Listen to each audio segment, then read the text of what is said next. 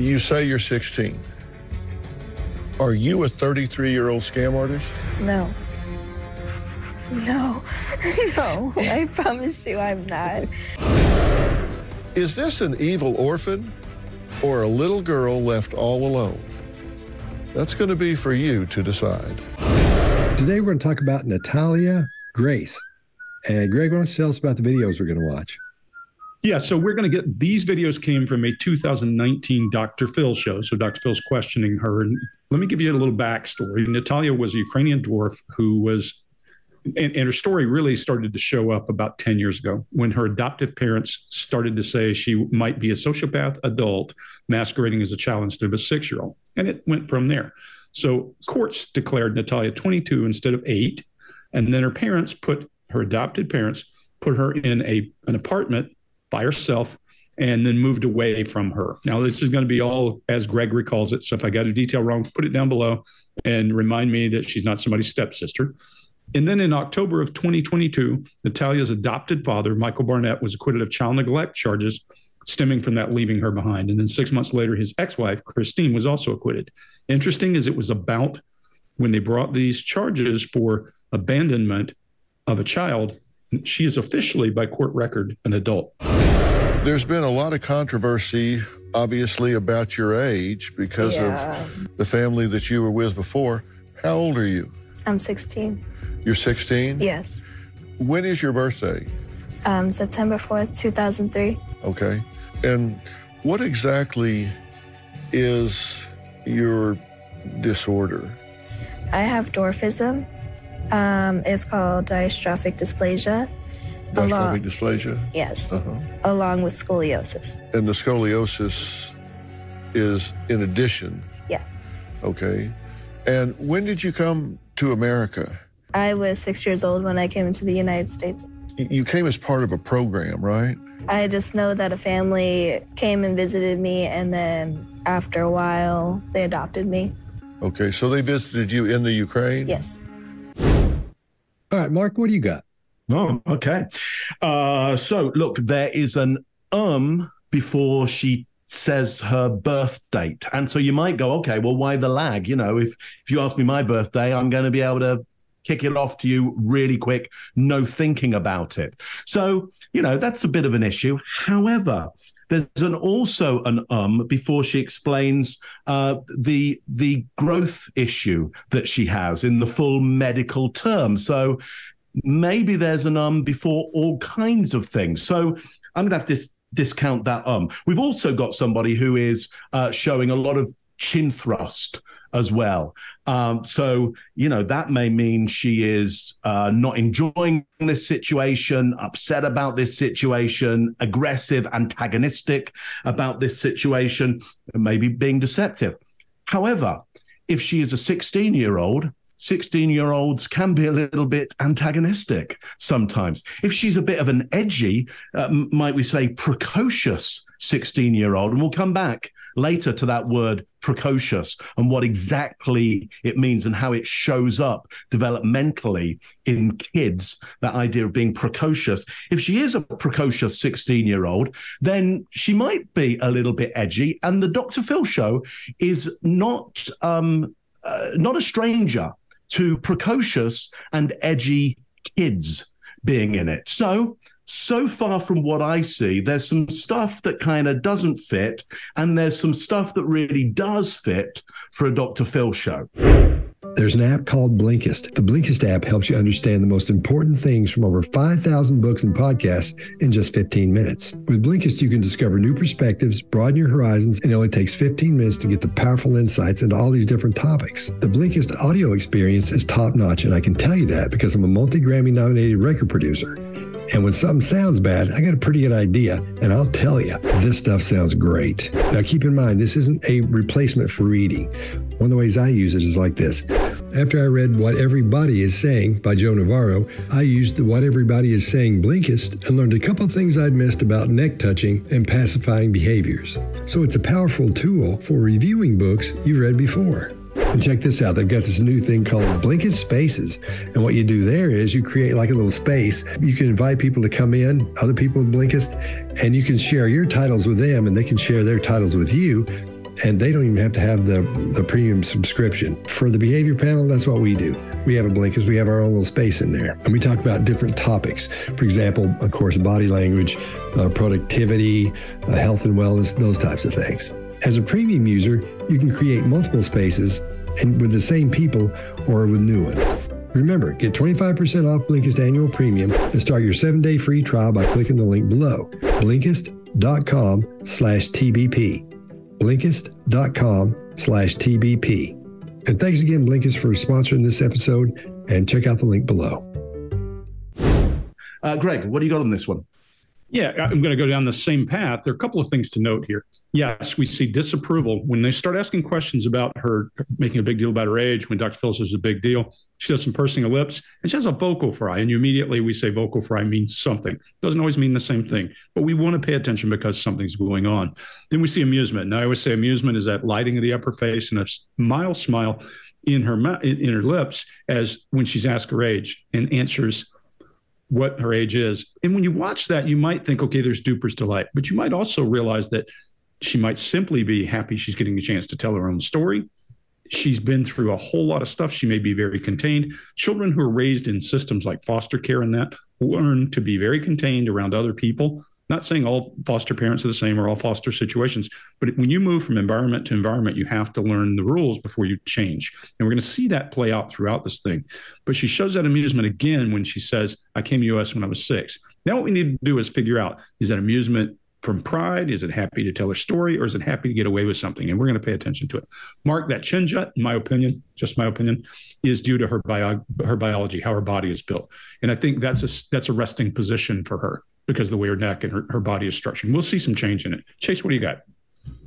Yeah, we'll see some definite chin jut movement here soon. Uh, when when people are asked questions and they're being genuine and honest, their eyes tend to move around. When somebody's locked with eye contact, this can indi- indicate a few possibilities. One, this is their normal way of being or they either subconsciously or deliberately make this attempt because they think it increases the likelihood that they're going to be believed. So, in other words, they think moving their eyes around will give away some kind of deception. And at this question, when did you come to America? She says, I was six years old. And she uses a complete sentence that asserts age first. This could indicate she's rehearsed this line many times, that she also believes this to be the most important point to get across to prove her point. And notice she also doesn't use America uh, in response, as would be more likely if it was a genuine an- answer to Dr. Phil's question. She didn't repeat the same word that he used.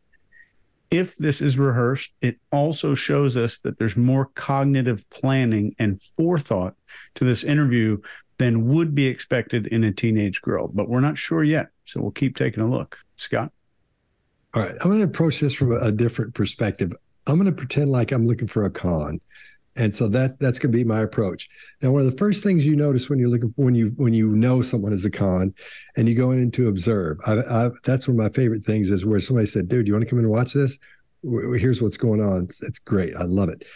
But these are some of the things that I look for when I'm talking to them, and that and the people that bring me in also look for as well the first thing you want to look for is that confidence they've got because they're called it's a confidence man or a confidence woman that's what it's based on the con that's where the con comes in with it now if this person was a con right now is when they'd be gathering intel their answers like hers are short they're they're right to the point they're tight and you've got that intent, not intense, but it's almost a fixed gaze on Dr. Phil as he's as he's as he's talking to her and she's answering him.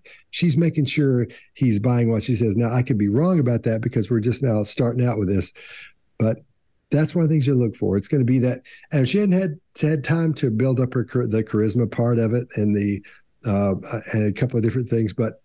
I think if you were if she was a con, she'd be uh, well on her way. But right now, she would be gathering intel.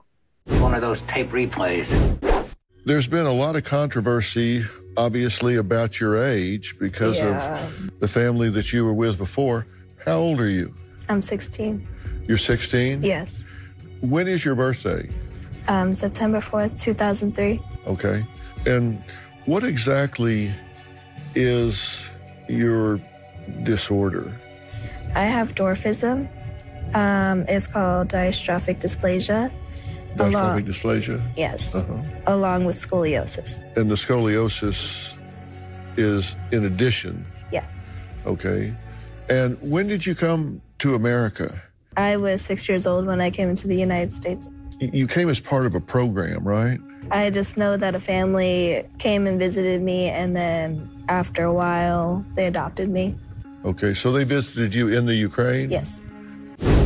What were your living conditions in the Ukraine? Were you in a group home? I don't really know what it was. I just know there was a lot of kids, and there were some caregivers. And where did you first live? I was in New Hampshire. New Hampshire. Yes. And how long did you stay with that family? Um, two years. How many families do you think you were with total? Um, I actually don't really remember all the families, but Kristine said that I was with at least like 30 families. Like one was in New York, and then some other places. I don't remember what she said. 30 families? Like f- for a couple of days? And I don't know. I don't remember being with that many families. so when you went to the family in New Hampshire and you left there, why did you leave there? I think it happened because they had two boys, and one of the boys, me and him were really close, so we like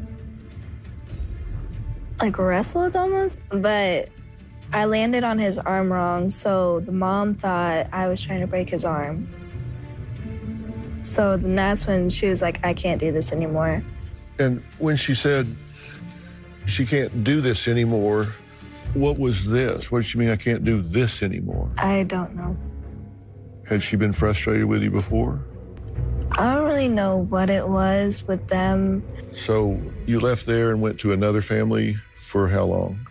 I don't remember all the families. I just remember this one family that, because I was with them the most. And what was their name? They were the DePauls. The Pauls. Mm-hmm. And how did it go there? It was good.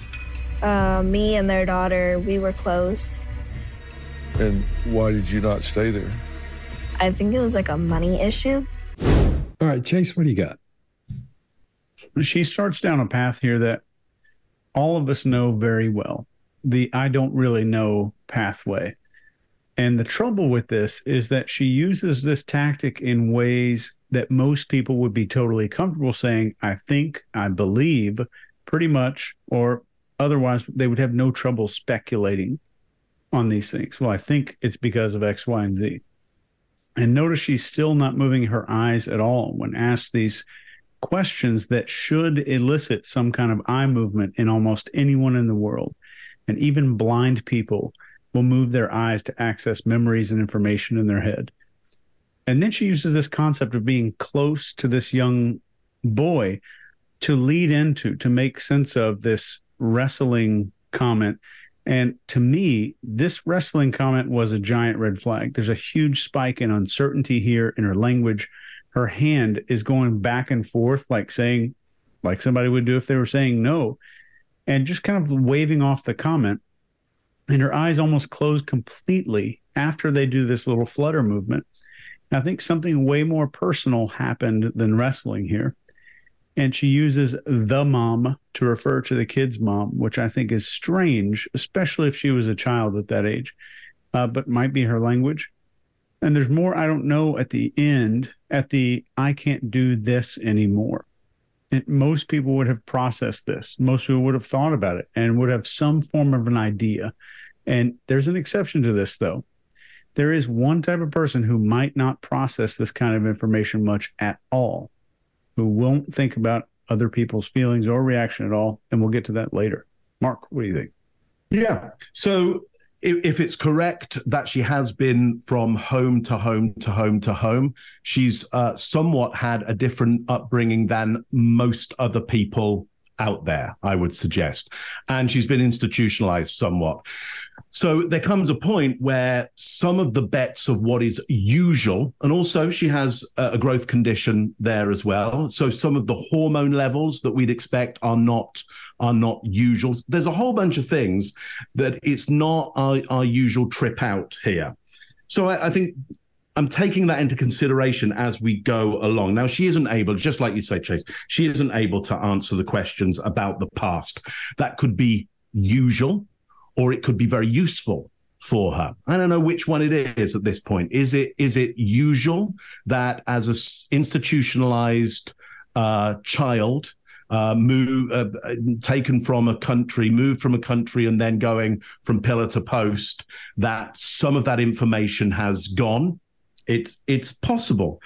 So it seems that um, she says she says I don't know, and there's a single shoulder shrug, and I don't remember a double shoulder shrug. So there may be a difference between what you don't know and what you don't remember maybe there is stuff you don't you you do know but you don't remember the details you've been told it's it's a possibility and i think it's interesting that there's that differentiation there uh, so she may know some of the p- facts but not remember everything about them. Uh, yeah the wrestling is interesting. We like then she searches for the right word like wrestled almost. And then there's this instability gesture. So, was it playful wrestling that you might do with a sibling? Because you know part of growing up as a sibling is is one of your jobs and if you don't have a sibling it's the job of the mother or the father is to wrestle the child else the child doesn't really know how strong they are and then they'll go out and hurt other other people accidentally because they've never been tested so one of the things that all kinds of social mammals do is to is to wrestle each other. That is that is normal. It's also normal, even in very stable households, to have sibling rivalry. And so the wrestling may transform into something way more aggressive, way more violent. And yet, we've all been in situations where uh, accidentally, uh, sometimes a little bit on purpose, bones have been broken, people go to hospital, it all gets a little bit extreme. So there's a possibility here that it may be kids wrestling, maybe a little bit more sibling rivalry, and and that's going to happen as you jockey for position in a new home, and things get taken a little bit too far, and bones get broken. It's a possibility. I think the I think what potentially it's is dramatic and uh, exciting to infer is a bit of a sexual relationship going on there because the the idea is well maybe we've got an adult here and maybe it gets that out of hand it's it's it's possible it's possible if this is a 33 year old uh, psychopathic sociopathic um, uh, you know person uh, i don't know at this stage everything is is a strong possibility here. Greg, what do you got? What do you think? Yeah, let's talk about culture shock for just a minute. So, when we think of culture shock, everybody thinks of going to a new country. That's not the first time you experience culture shock. First time you experience culture shock is when you left your parents' house and were under the control of another adult because the rules changed and you suddenly had to adapt and you adapted to that set of rules and you came home. So children who go earlier get much better at that. And children who move a lot are constantly exposed to culture shock and come up with new ways of dealing with it. And that's trauma. I, you know, you guys hear me say all the time, the human condition is trauma. From the moment you're born, you're going to face trauma of some kind, some more horrific and some less. And as that person adapts, it might be that they adapt in a way that causes them to sit very still and to be very contained.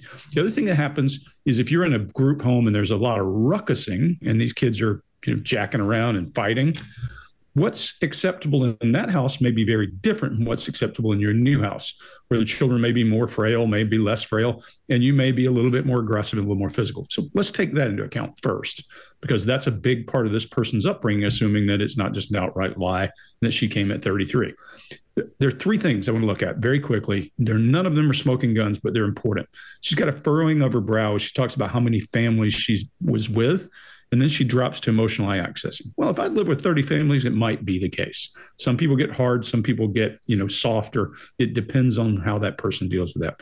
But then her brow goes up in uncertainty and request for approval as she addresses what's going on. When we when she's talking about this wrestling piece, maybe this is maybe this is what happened is she pushed hard enough that these people are like she's too aggressive for our family and they found a way for her to go out. But listen her voice lilts when she says wrestling. She does that rocking back and forth with her hand which i think is you might think it's this you might think it's that. But then i felt like when she was doing that and shaking her hand she's fishing for approval in calling it wrestling. Whereas the people might have said you're a brute you're beating up the child. So there's two. Third is there's a pregnant pause right after me a dead open pause outside of her normal baseline after she says, I was trying to break his arm. And she breaks eye contact into emotion, but no tears, nothing sad. It could mean she's shopping for an answer in degrees and trying to figure out what's okay. Don't know, but she is a product of her environment. And then when she says, I don't know what it was with them, there's an eye contact change and a cadence change. Those three things make me think whether it's a big deal or something else, she contributed in some way or feels like she contributed in some way to the reason she was ejected from those houses. Now, if you're a child, children feel guilty for lots of things that they're not responsible for. Don't know. We'll wait and see what we find. Scott, what do you got? All right, let's pretend like we're hunting for a con and we're looking for for the con in this story or for that person to be conning you. One of the things you look for is something that just doesn't sound right. And sometimes when you're dealing with with a con, one of their tools is manipulation of emotions. And they could be trying to manipulate empathy or sympathy or fear, whatever it is. And in this case, in my opinion, she would be uh, trying to manipulate the empathy part on Dr. Phil, which would be tough to do because she talks about 30 families number one, that doesn't sound right. Even he says, well, anyway, hold on a second, 30, that's a whole lot for a child.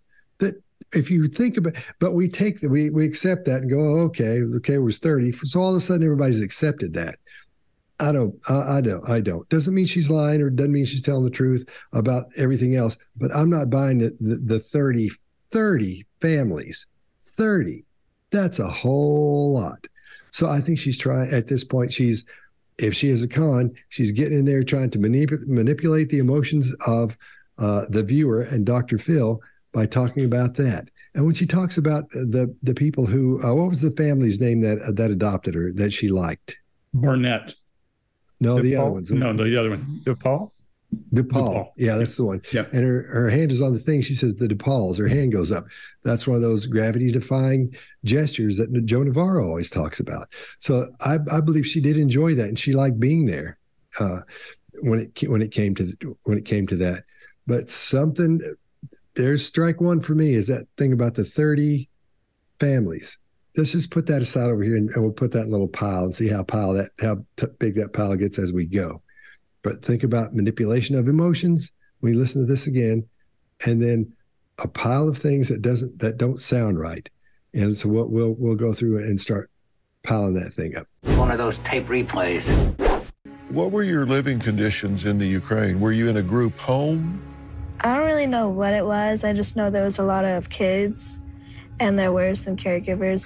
And where did you first live? I was in New Hampshire. New Hampshire. Yes.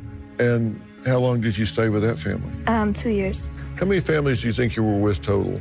Um, I actually don't really remember all the families, but Kristine said that I was with at least like 30 families. Like one was in New York and then some other places. I don't remember what she said. 30 families? Like f- for a couple of days? And I don't know. I don't remember being with that many families.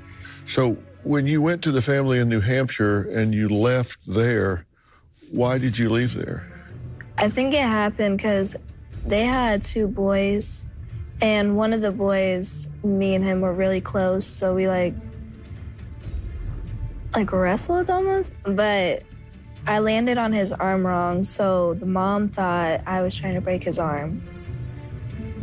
So then that's when she was like, I can't do this anymore. And when she said she can't do this anymore, what was this? What did she mean, I can't do this anymore? I don't know. Had she been frustrated with you before? I don't really know what it was with them. So you left there and went to another family for how long? I don't remember all the families. I just remember this one family that, because I was with them the most. And what was their name? They were the DePauls. The Pauls. Mm-hmm. And how did it go there? It was good. Uh, me and their daughter, we were close. And why did you not stay there? I think it was like a money issue. and thinking about the Barnetts. When you first went there, were you happy? I was. Were they happy with you? Yes, Did you feel loved there? I did. Feel the like you belonged? Yes, I actually thought I had found the right family after bouncing around from all the families. I thought I had found the right family for me.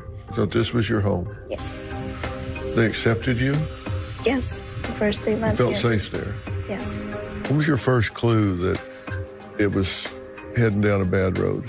It was after my surgery when she started questioning about my age. And then, like, everything started happening after that one moment. All right, Greg, what do you got? Yeah, so this one it starts to get interesting because she's answering the questions like I would expect a prisoner of war to answer. If I ask you a leading question, she gives me a quick yes or no answer with quick closed lips, but her chin is up more than usual here. So maybe it's defiance. We don't know that for sure, but she's changed her style of answering very much. She's not giving you a response that's a narrative. We can't read minds. This could be in response to how she's been dealt with in her past if you think about when you're dealing with a child and you start to put pressure on them, they go yes, no, yes, no, yes, no, because children are smart enough to know that if they give you more information, they're likely to get in trouble. Now, that could also mean that she's calculating and trying not to give you more information to keep her out of trouble for some reason. But if you just pay attention to it, she's pretty consistent with all of that until you get to the first clue it was a bad road. And she drops down to emotional eye accessing. And if you want to know what we mean by emotional eye accessing, we mean they look down into their right. For a minute, if you think about your favorite pet, whether that was a monkey, alligator, a chicken, whatever, and you look down into your right as you're thinking that animal, you'll have that emotional response. That's what we're looking for. And she does. That's a good indicator. I know somebody whose emotional responses are as muted as this person. And he was raised by a mother who tried to commit suicide with him in the car and those kinds of things. And it had an impact on him. So his he was very contained as a result. So just looking at that makes it very tough for us to look at the same thing. But in many cases, all that stuff that we start with is just the beginning, and then we just keep piling all this stuff on to protect ourselves. I don't, I can't speak to what this is, but remember, this is about the organism, and the organism is going to do what made the organism successful through that chain of events that got her here. Chase, what do you got? Yeah, uh, her answers about this family are just like you were saying, Greg, immediate, short, and it sounds almost rehearsed. And th- I I think the anxiety is way up here. And when Phil says, What was your first clue that it was leading down a bad road? She says, It was after my surgery when she started questioning about my age. So there's no detail there. And she uses a fragment of a sentence to describe the way things were going, the hint that she got. And there's no confusion or emotion about being questioned about her age, which is strange. And there's no indication she was surprised by this at all. And there's no emotion present here, hardly at all. And she uses the word everything and moment. Those two words to describe what would be severely traumatic, emotional, and frightening, I would imagine, for a girl who was especially under 10 years old at the time. So, what you're seeing here might be something called simulated adjustment.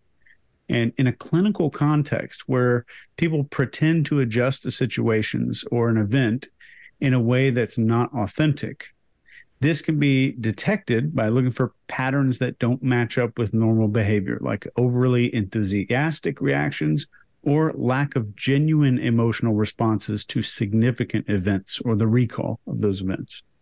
That was a long one. Scott? All right. Mine won't be as long. Mine, mine will all be short today. Um, like we've all said so far, everything changes when we get to the part about the surgery. And if she was a, a con in this, she would lay a little bit more on the on at this right here. She would combine the the, the two of trying to to get that um, the number one thing we talked about, with, which was the charm and charisma thing, you know, and then trying to manipulate those emotions in there. But she can do it there toward the end. But I think if she was a con, she's being very careful about this. Not once has she ever said, it's hard because I got to do this, or it's hard because I'm small. It's hard because she hasn't done that. And if she is a con, it's brilliant that she's not doing that. She has to be pretty smart because that would be the first thing you'd see. And you'd lay that out and go, look at me, you know, I'm I'm so small. and I have all these problems. And so obviously you feel sorry for me. But she's not, but if she was a con, she's not going down that road. So everything changes there at the, at, at the end. And she even brings the, the into a singularity the discussion that happened after the surgery. She talks about how it was that one thing that happened. How did she word that? I can't remember what she said. It was it was um, after that one. Maybe, she says after that one thing. So listen to it and see what you think, or see what you hear at the end. But she brings it down to one single little point. So that makes me think that's the only thing that happened. I don't think there was a lot of discussion about different things.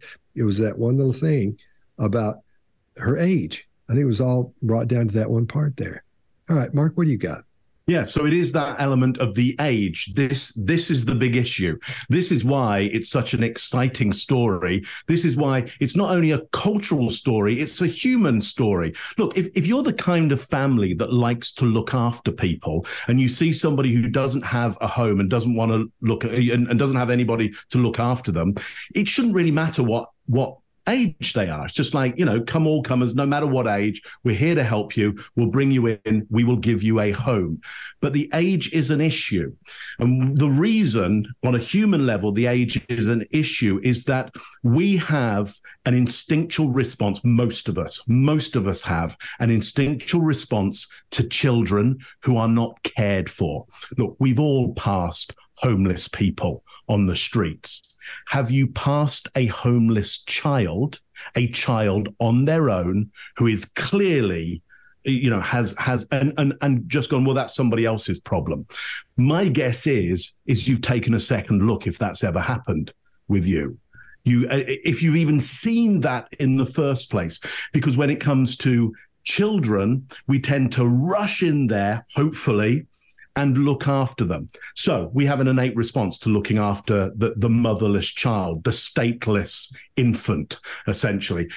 Uh, so we've got a bit of a social rule, which is you don't pretend to be a child in that situation because pretending to be a child would be it would be a cheap signal you would uh, you would be uh, actioning an instinct of of many mothers and fathers out there to look after you so that's the big problem it triggers our instincts and at the same time, why is it so an such an interesting story? It has all the things of an Eastern European folk tale. You've got small people doing potentially really bad stuff, replacing other children. You've got the cuckoo child, essentially, uh, which is which is which is the, the child that gets left in another home and then gets looked after as as their own. We see this in nature uh, all the time. You've even got somebody from an Eastern European country, so it has that weird sense of yeah, but we don't know where they've come from, and it's very dark and mysterious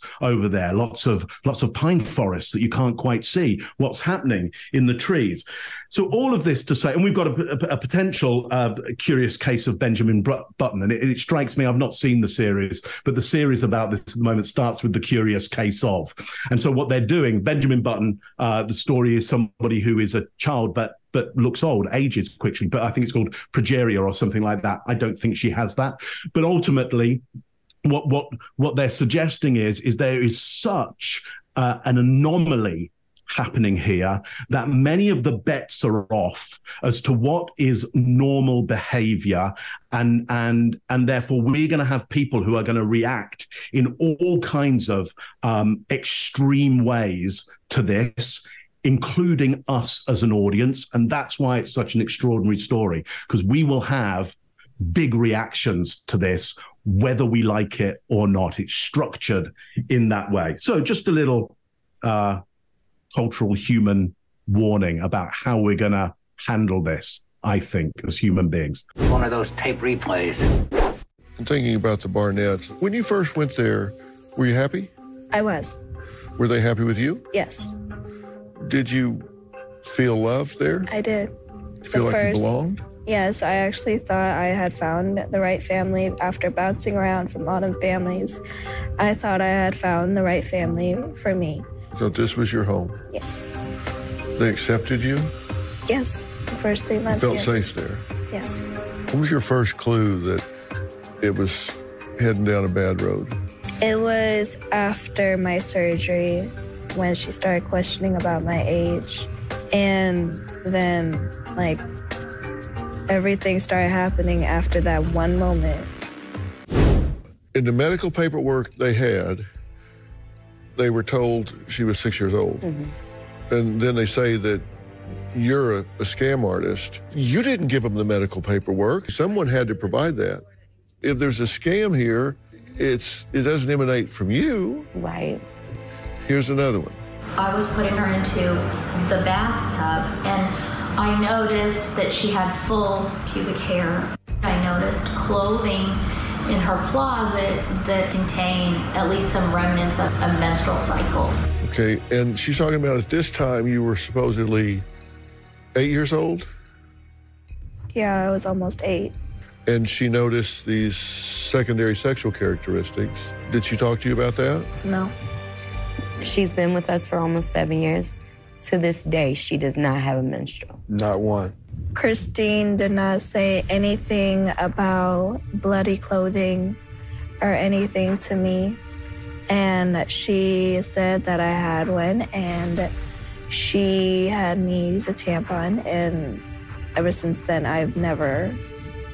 So she had you use a tampon one yes. time. And there was spottage, I guess. I don't know why. And she's like, see, that's blood. And That's probably. Mm-hmm. Yeah, yeah. All right, Greg, what do you got? Yeah, this is a pretty interesting one. I'm going to cover the mother more than I'm going to cover her. These, these clips are very short. I was really wanting to get the entire interview with the mother. She only did one interview that I know of, and that was Daily Mail. If you know where another one is, grab it for us because this is good. When she says pubic hair, she is very tentative. I don't know whether it's because she thinks it's the wrong thing to say on TV or whether she's feeling like it's inappropriate and wondering if she or whether it's wondering if she'll be believable. But she changes cadence. There's a cut in there. I wish it were not there because she doesn't inhale breath before she says pubic hair. Interesting. Why? Don't know. Would love to know. And then there are at least some remnants when she's talking about that with menstruation. There's a qualifier. She uses a qualifier. She doesn't say, Hey, I found menstrual blood on her clothes. You would expect her to say that. And look, I, I'm not going to get into the biology of that, but I'll just tell you stress. Most women will tell you stress creates lots of hormone changes in them. And we capture prisoners, women immediately almost always cycle. So stress in if a child's already cycling, you would expect that to happen a lot as she moved from home to home to home. Don't know. We'll hear other people later say it hasn't happened. Th- meanwhile, the child, the person, um, Natalia sits there with no blink rate increase, no emotion, nothing. So there's no response to this. Means it doesn't seem to affect her. Mark, what do you got? Uh, yeah. So, um, well, we'll come to the controlling of that message a, a little bit later on, but the the idea of that this is an impossibility or improbability of puberty at the age of eight.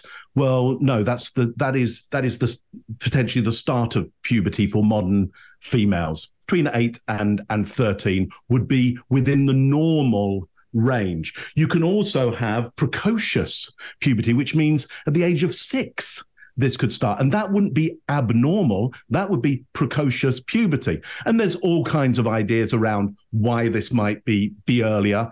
But if you take ideas from the past of when puberty should should start, you, you're going to be in the past because of potentially chemicals in the water right now, and also mm, uh, quite likely the amount of um, incandescent light that uh, we all are uh, have on a on a more regular basis. Um, the, the pineal gland reacts in a different way, and and puberty can onset a lot earlier. So if that is the smoking gun that people are looking for, um, it, it doesn't really pass um, you. It doesn't really pass muster. I, I would say, uh, and it seems to be a little bit hearsay from the the past um, uh, carer as well. Now, the interesting thing uh, for me is the the the carers, uh, the two other the two adults with her at the time.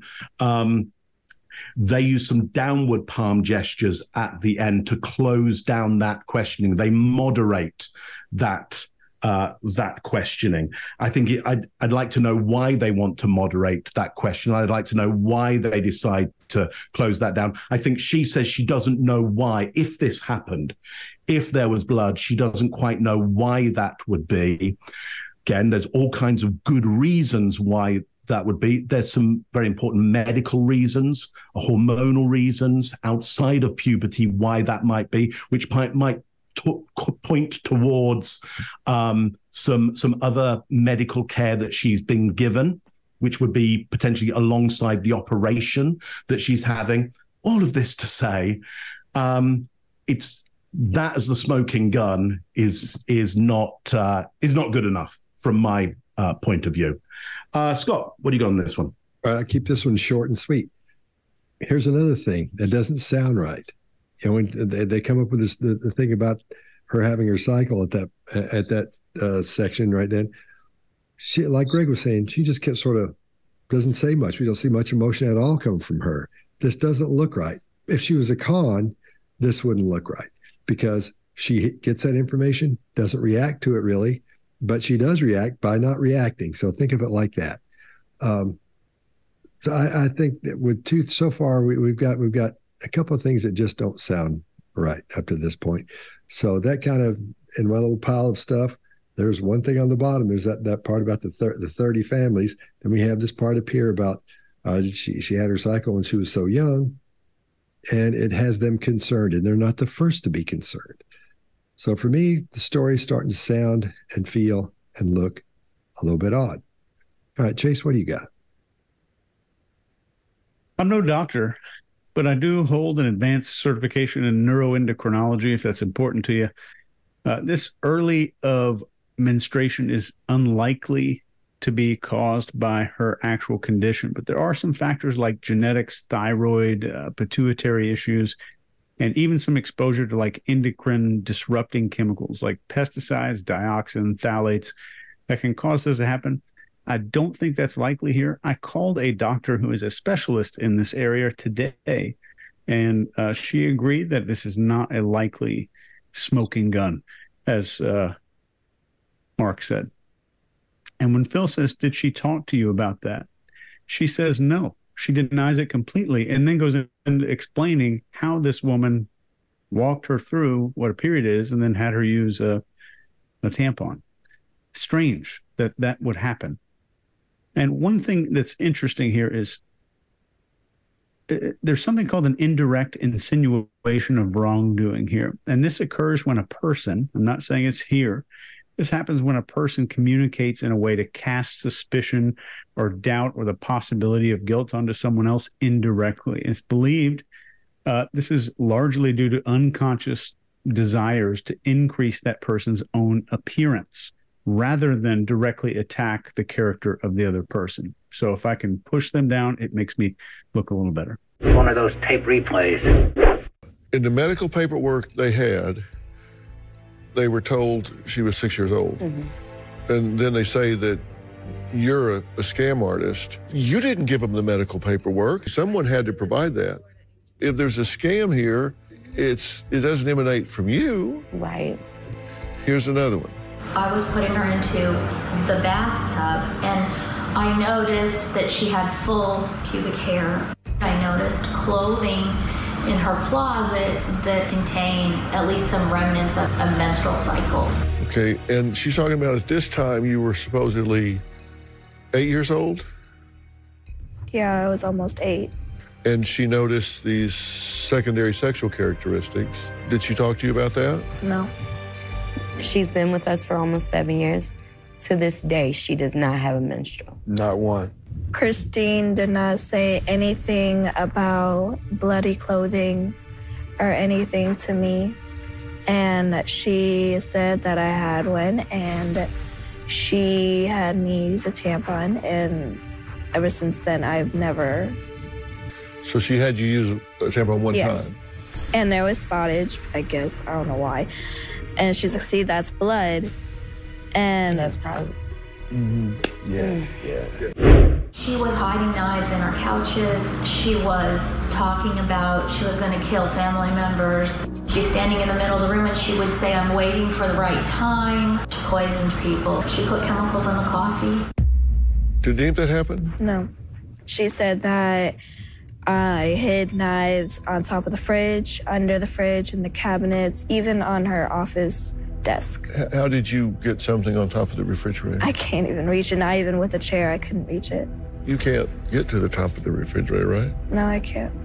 You were cleaning. Yes. You're helping her clean. Yes.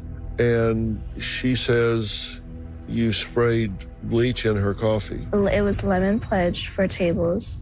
And she actually has footage of you doing that. So we had missed a spot. So what I did was I scooted the chair over so I could get up there, and I scooted her coffee back so I could grab the thing because it was ne- it was in front of it. So I scooted it back, and I grabbed it. She came out and was like, "What are you doing?" And then she claimed that I tried to spray it in her coffee. You could look in her coffee. There was nothing. All right, Mark, what do you got? Uh, yeah, so interesting. Um, I find the initial no very direct, very clear. Um, seems like a good denial to me. I'm willing to have my mind changed on it, but seems like a really good denial. Now, the rest of this whole sequence for me is is cut up so much that I find it hard to follow the story. I, I listen. I understand why. Like anything, you're having you're having to build suspense in there, and if they if they if they say if they deliver to the audience all of what somebody says we go oh i see. Oh i get it. Well then that's okay. So so we're kind of analyzed something which has been built to hold hold an audience for an hour and, and get us to watch the adverts in between okay? That's the nature of tv to get us to watch the adverts in between. Great, great content great content by the way but it has to have suspense built into it so it has to take away some of the elements. For me this clip though there's a good initial denial it's too cut up for for me to really make any uh, analysis and, and, and judgment on. Uh, but others may have uh, had a good stab at it, and that's that's good. I'm all, all for that. Uh, Scott, what do you got on this one? Right, when she's confronted with what would be a criminal act, poisoning somebody, you know, she gets still again. There's not a whole lot going on there. Um, she gets louder and her cadence speeds up a little bit and it slows down a little bit. It speeds up a little bit.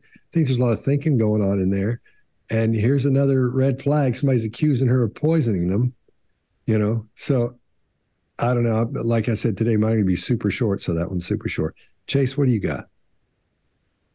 This thing is going, as Mark would say, just bonkers uh, pretty fast. Uh, if there's one thing that indicates somebody is truly going off the rails like this, it's when there is a pattern. And if there's one thing that really shows that the pattern is true, it's when the pattern is witnessed by unconnected people, people that are not connected to each other. So as she's watching the video, there's one thing that stood out. She's watching this woman say this about her. There's no anger. There's no anger. And a person, a, an average or let's say reasonable person with a normal limbic system, will respond with either collapse or anger when this sort of thing happens. And the woman on the video claiming all of this is genuine, she has eye accessing all over while she's trying to recall these details. Lots of emotional accessing, genuine and perfectly timed gestures, pauses, and natural fluctuation in the tone and uh, pitch of her voice. Notice there is no direct denial about the coffee. The story that she tells is vague uh, and full of detail, but doesn't really talk about specifically what she was doing. And it doesn't make a denial about putting it into the coffee or the intent to do so. Greg? Yeah, I think here we're going to get into this. Anytime you're talking to two people, somewhere in the middle is usually where the truth is. And I think we're going to see a lot of it here. Let's start off by talking about Kristine, who's the mother, who's the blonde woman in the, in the video. First of all, she is a well known author who wrote a book called The Spark. She had raised a, a child on the spectrum who is a math prodigy and went to university at 14, I think 14 or 15, and was a, has been in front of a camera a lot. So she's much better in front of a camera than most folks you would imagine. She uses words like standing over, running into. We're going to hear those words used to talk about this person who is quite not capable of running or standing over people. And those words usually, I listen to word patterns to say, what kind of person is this? And by that, I mean, how do they typically communicate? Do they speak in hyperbole? Do they speak in understated ways? And I think we are going to see a pattern of hyperbole in the way they talk. So, is spring pledge in your coffee poison or is it revenge? Don't know. Uh, it depends on you as to how you perceive that, how you define it. In a household where that's considered poisoning, standing over may be something different too. So just think about that. And now we got to get back to culture shock and where this is. So one person's poison is another person's household cleaner. One person's arm breaking is another kid's wrestling. That can be a really interesting thing when you're moving from house to house. Not taking everything away from her. Here's the interesting red flag for me from Natalia. In the last one where they're talking about she was more mature than her years and she's older than she was claiming. No movement, no facial expression, nothing. She just sat there. In this one, while she's listening to her tell the story, there's an exaggerated facial expression. While she's listening to an accusation, and I think it's because she knew that this stuff was going to come up because this stuff is probably true. Now, whether she went in and said, I'm going to kill you, or took a knife and hid it somewhere, it was on top of the refrigerator, probably not. But if a kid is ruckus, and has no other way to control their environment, especially people who have limited physical means, they may use words in a very big way. Younger children, especially, can be tantrum throwers and just go, you guys raise kids, you know, your kid could throw a tantrum over something that has nothing to do with what's going on. So, especially when she's discussing these very topics that she knows is going to come up and seeing her facial expression, it makes that jump off the plate to me. And she looks appropriately angry with a narrowing and muting of the mouth when she's talking about the refrigerator. So, look, this is another marker for me that makes me think the truth is somewhere in the middle. She might have been trying to poison or taking knives to kill them. She might have said, I'm going to kill you. Who knows? But somewhere in the middle of all this dramatic range is probably where we're going to find the truth. One of those tape replays. She was hiding knives in our couches. She was talking about she was going to kill family members. She's standing in the middle of the room and she would say, I'm waiting for the right time. She poisoned people. She put chemicals in the coffee. Did any of that happen? No. She said that I hid knives on top of the fridge, under the fridge, in the cabinets, even on her office desk. How did you get something on top of the refrigerator? I can't even reach it. Not even with a chair, I couldn't reach it. You can't get to the top of the refrigerator, right? No, I can't. You were cleaning. Yes. You're helping her clean. Yes. And she says you sprayed bleach in her coffee. It was lemon pledge for tables. And she actually has footage of you doing that. So we had missed a spot. So what I did was I scooted the chair over so I could get up there, and I scooted her coffee back so I could grab the thing because it was ne- it was in front of it. So I scooted it back, and I grabbed it. She came out and was like, "What are you doing?" And then she claimed that I tried to spray it in her coffee. You could look in her coffee. There was nothing. Did you ever stand at the foot of their bed, around their bed, in their room, watch them sleep with a knife in your hand? No. Never. Did you ever want to stab them? No. Did you ever make plans to stab them? No.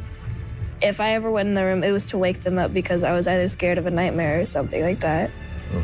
But I never went in their room. I didn't. But is there any reason that they would have like nanny cam footage, hidden camera footage of you standing at the end of the bed with a knife in your hand? No. If they had it, they would have produced it, right? Mm-hmm. She said you tried to push her into an electric fence. It was the youngest birthday, so we went to the farm because he likes cows.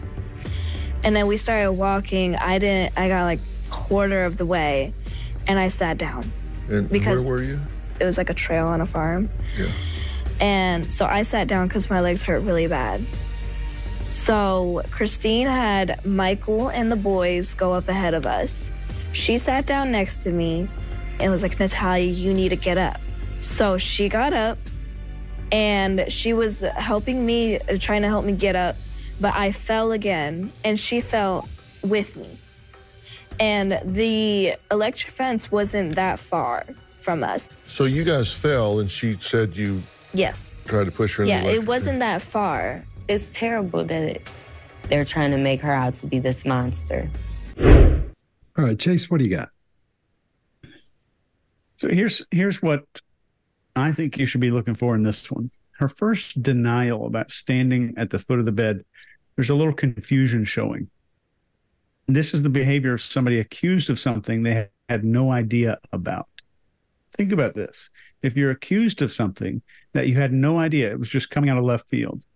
But the mistake here is forgetting that people only do this when they hear it the first time. She's heard this for years. So she makes another soft denial and then starts this crying thing. And when you watch this again, pay attention to her eyes. Here's what happens when she starts the crying thing. This is just my opinion. I'm open to being uh, having my mind changed, as Mark says. She makes 100% solid, unflinching eye contact with her target. I mean, Dr. Phil. There's no expression of sadness on her face at all. She doesn't blink, doesn't hold her eyes closed. Her chin boss movement uh, is not genuine. The entire chin moves instead.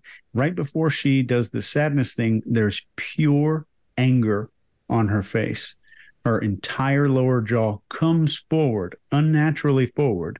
You're seeing a total lack of emotional affect, deliberate, calculated use of feigned sadness, in my opinion, to control the environment around her. Just going back to what Greg says, doesn't mean she hasn't been traumatized. It doesn't mean this is a, a result of the organism not doing something that made it successful in the past. Her denial of Dr. Phil's bait question, which was fabulous, or a mind virus question, is different than all the others. It was really soft. And she was comfortable denying things that were impossible to prove. That's the reason, I think. And if she tried to push this woman into the electric fence, I don't remember her name, you're seeing if that's true, then you're seeing criminal impulsivity, an inability to control those impulses, and a severely low ability to predict potential consequences. Scott, what do you got? All right. Yeah, with his bait question, he did that really well because the first time he brings it up, she doesn't even doesn't even answer, doesn't even react to it. She goes on talking about something else.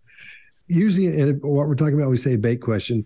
The person that that is suspected of doing something, you'll say, so and so, Mark, is there any reason whatsoever that your blood or your DNA could be hair, spit from coffin, whatever, be in the room where that body was? Be any reason whatsoever? Quite often, the person who who was in, and they've said they weren't in the room at all, had nothing, they shouldn't be in the room at all before that. And you ask them that question, here's what here's what happens most of the time. It's not every time, and you can't count on it every time. However, if you say when you ask that question and they get and they say shouldn't be. I, I can't think of a reason why. Shouldn't be. They're getting real quiet on you. Not that big a deal. They should be fairly worried you know so i would put them in my little pile over here of people who are still i would still suspect them but if they said no there's not going to be any dna there, of mine no spit no nothing you know why because i wasn't in there that's why no, won't be anything of mine in there. I tell you that much. They get loud and they'll they'll they'll come forward and they'll come at you uh, with that.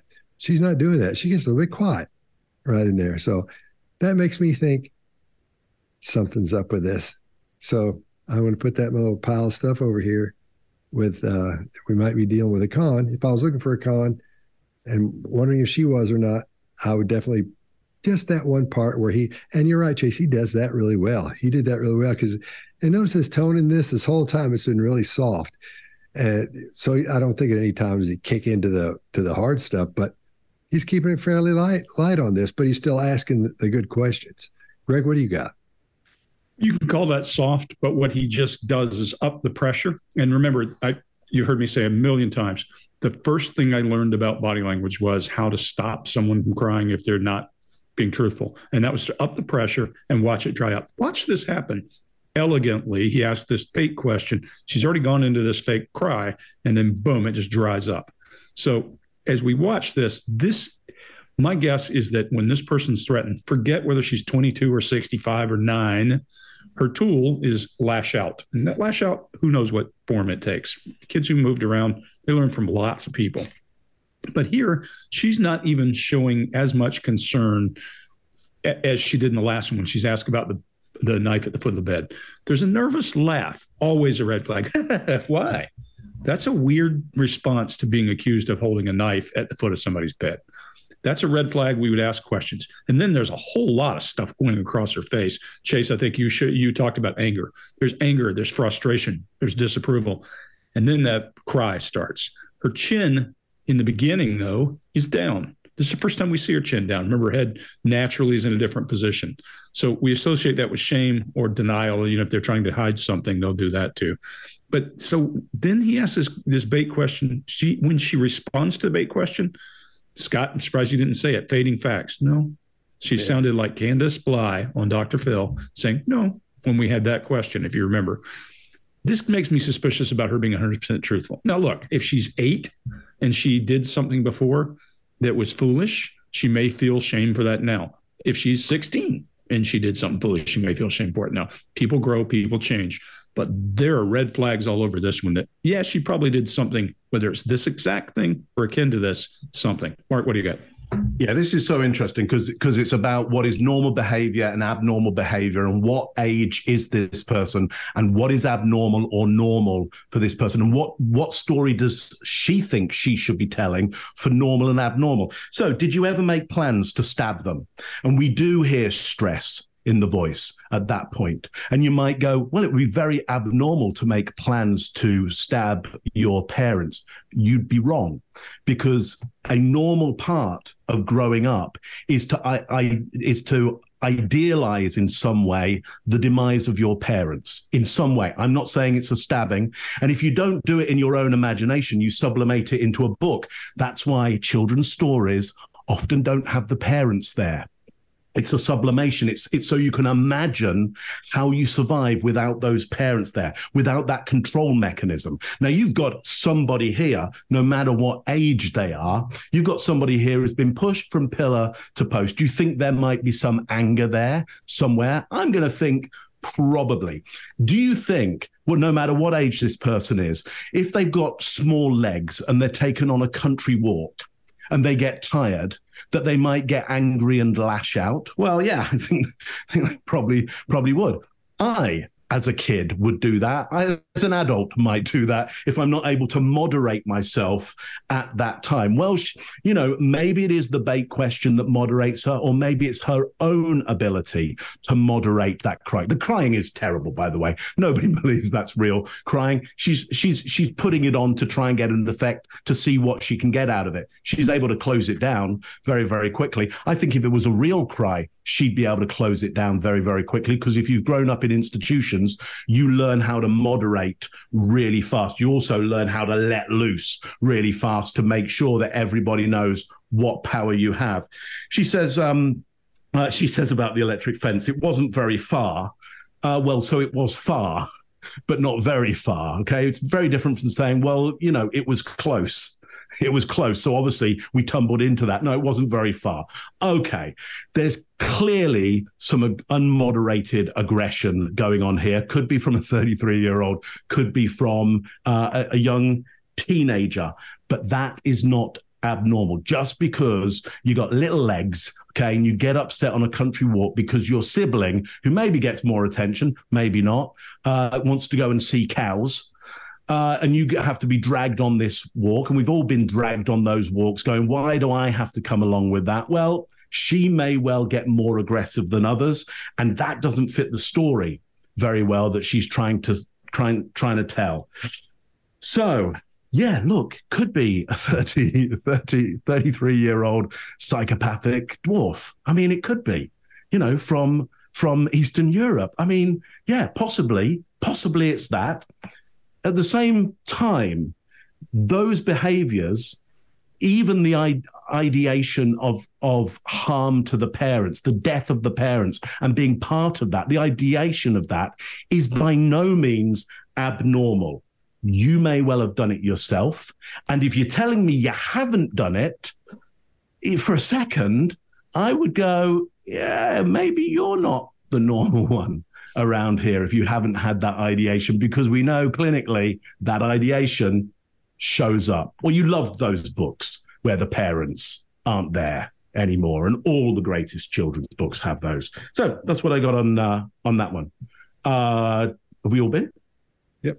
But you know what? There's one more place we've seen that um, where there's heavy crying and emotion, and then snapping out of it, just being normal, and being something else. Anybody remember where? Amber Heard. Yeah, Or she'd yeah. be all upset. And she's mm-hmm. like, well, I, don't, she'd be like, I just think so. and so. She'd be like, but you know what we should do? Well, you know, if I'd if I'd been pushed from pillar to post and never had a parent, one thing that I might easily get diagnosed with is borderline personality disorder. For sure, So- for sure. It, it's on my list of things here because look, Yeah. if a person has had to adapt to every different person, I, I think about Chase. The first time you join the military and you, your first duty assignment, you remember how much adapting you had to do to personalities around you, chief, Oh yeah. coworkers, and so you have to compress your personality and learn until you get there and figure out how you work with those people. Imagine if you're a child without those coping skills. Now, forget whether she's now 16 or 18 or 36 or 94. If you've been in that system, One of those tape replays. Did you ever stand at the foot of their bed, around their bed, in their room, watch them sleep with a knife in your hand? No. Never. Did you ever want to stab them? No. Did you ever make plans to stab them? No. If I ever went in the room, it was to wake them up because I was either scared of a nightmare or something like that. Uh-huh. But I never went in their room. I didn't. But is there any reason that they would have like nanny cam footage, hidden camera footage of you standing at the end of the bed with a knife in your hand? No. If they had it, they would have produced it, right? Mm-hmm. She said you tried to push her into an electric fence. It was the youngest birthday, so we went to the farm because he likes cows. And then we started walking. I didn't. I got like quarter of the way, and I sat down. And Because- where were you? It was like a trail on a farm. Yeah. And so I sat down because my legs hurt really bad. So Kristine had Michael and the boys go up ahead of us. She sat down next to me and was like, Natalia, you need to get up.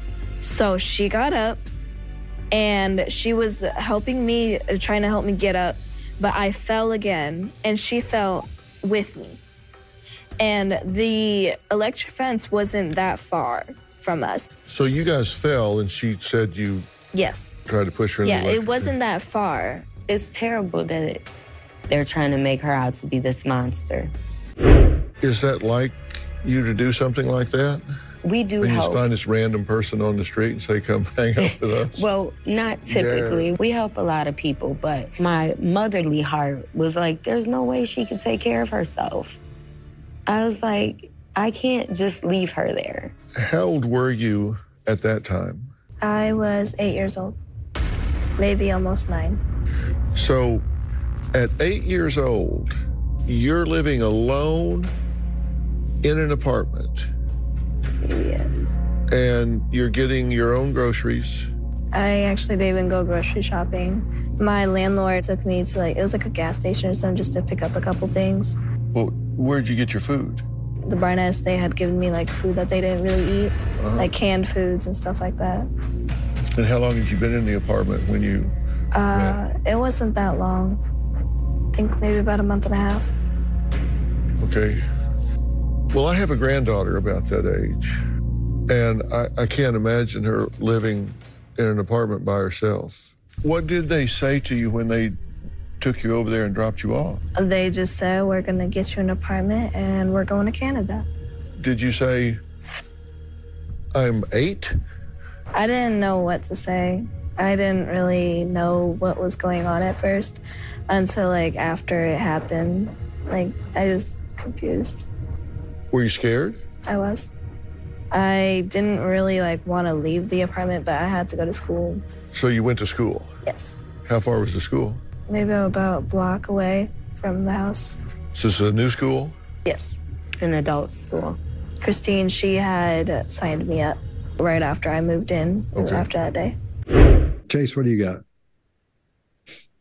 I think this video has the highest potential to be a verified case of duper's delight or duping delight, a c- phrase coined by Paul Ekman.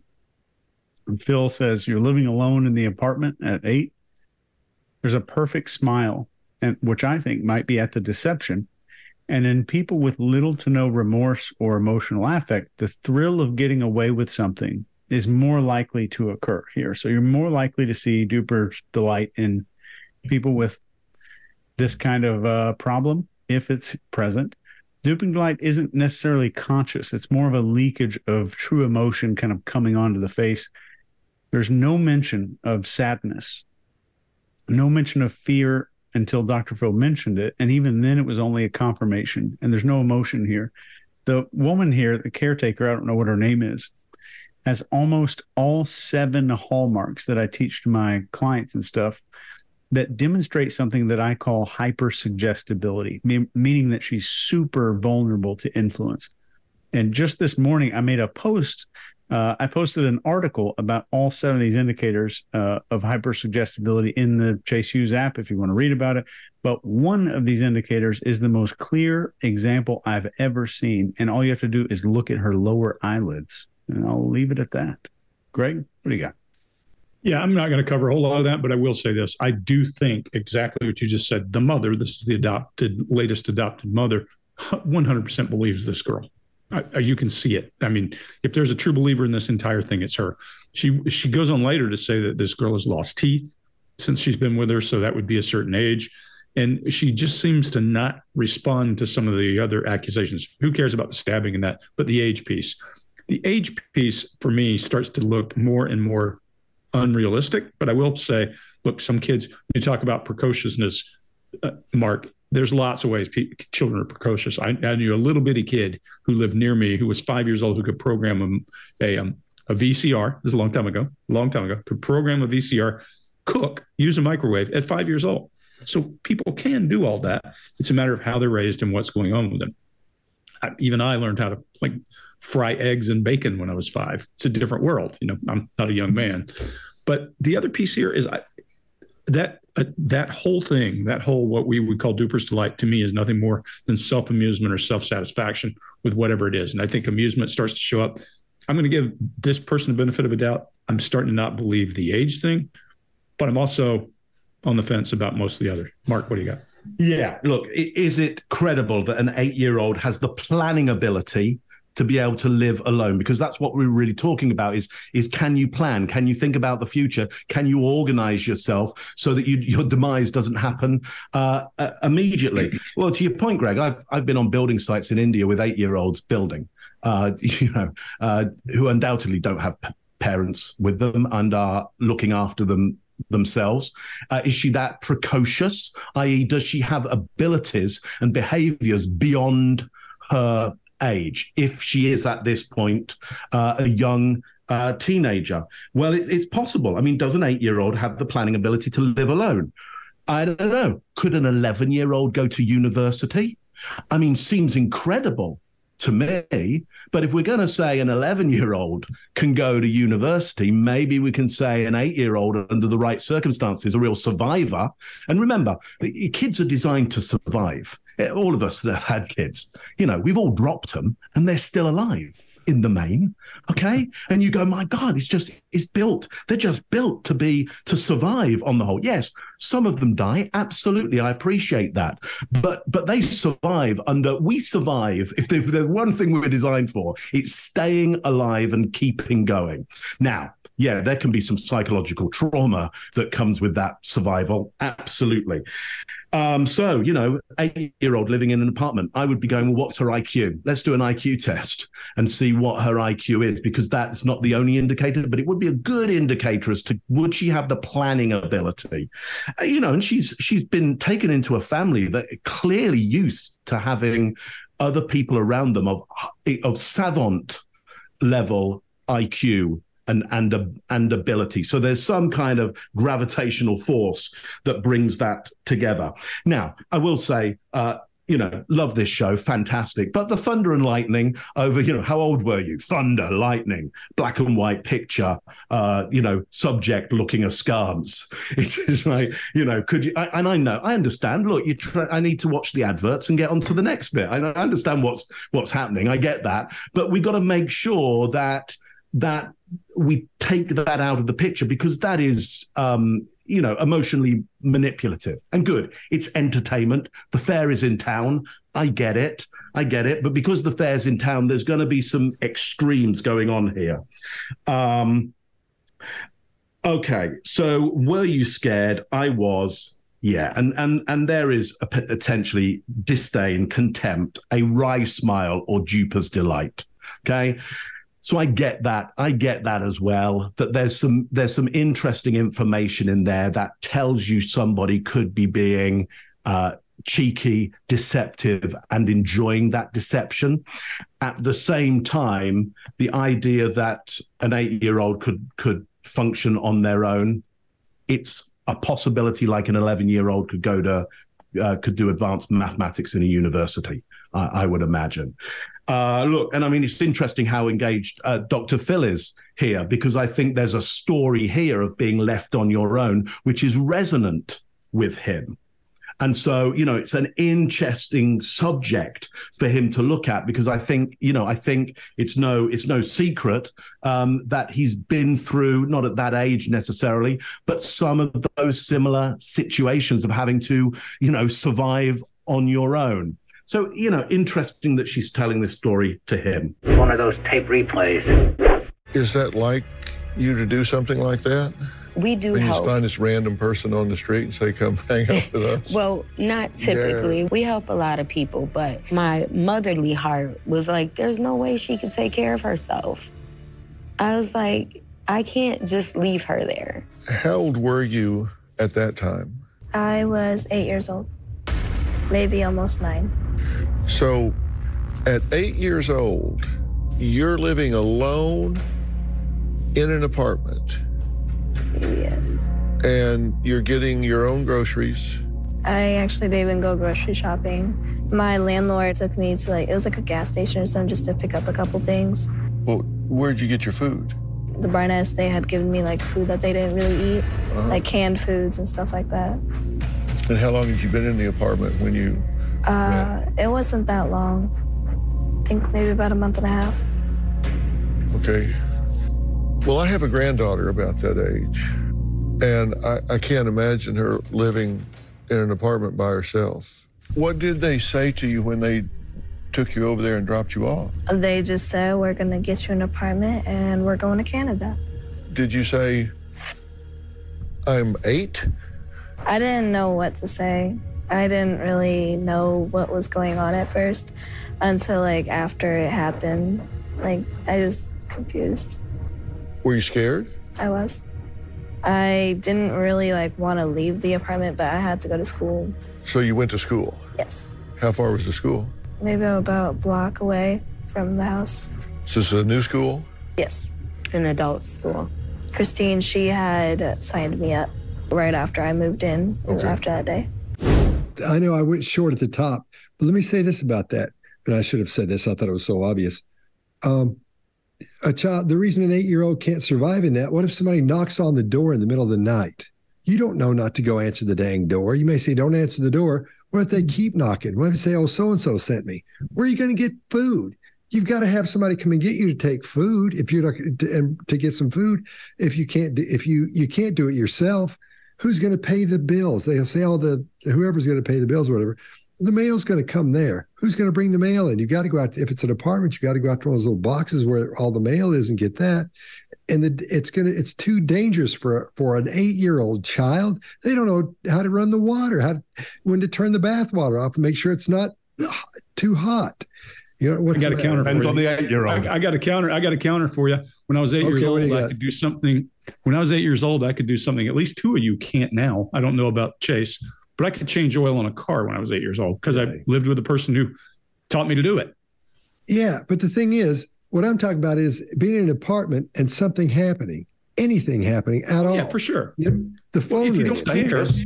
It's not. It's not most of our lives. It's dangerous. If you don't care if something yeah. happens to the kid, though, and you put them in there, and you whether you believe they're 22 or they really are 22 is a different story. If you believe they're 22 and you put them there and say, "Hey, just do this," tell people you're 22 if they come and knock on the door they could be put in that situation. That's my only pushback. Yeah. Scott, I think set, somewhere in between those two numbers is probably right. But. Well, would they could set the house on fire with a stove, leave it on? They don't know how to cook at eight. Some people say, well, I know how to cook, you know, cheese toast or whatever. Maybe you do, but you can't eat cheese toast all day, every day or grilled cheese mm, sandwiches or cereal. Believe me, kid, kid, yeah, I get your point. Survival you. can eat the same thing day after day Yeah, after day. Look, this- I'm saying I'm not saying that this necessarily happened here, Scott, but the Yeah. Oh, idea that an eight-year-old can't look after themselves under the right circumstances, yes, they, yes, they can. Now, is it dangerous? Right yeah, they could die. They could some some die in the process. Some some would die for sure. Oh, some would stay alive. I think this one would Depends die on their IQ. I think I think this one would die in that process if she were eight, you mean? Yeah, yeah. if she were Possible. eight. You know what- yeah. What's at funny time. from a Possible. from an uh, biological perspective, uh, children become independent uh, even up to 100,000 years ago at age seven, which Yeah, is now, ironically, why most divorces occur when children are around age seven, because subconsciously the parents are know that the the child has become at seven, an they suddenly go, I remember it from myself. I remember going, I don't have to take instruction.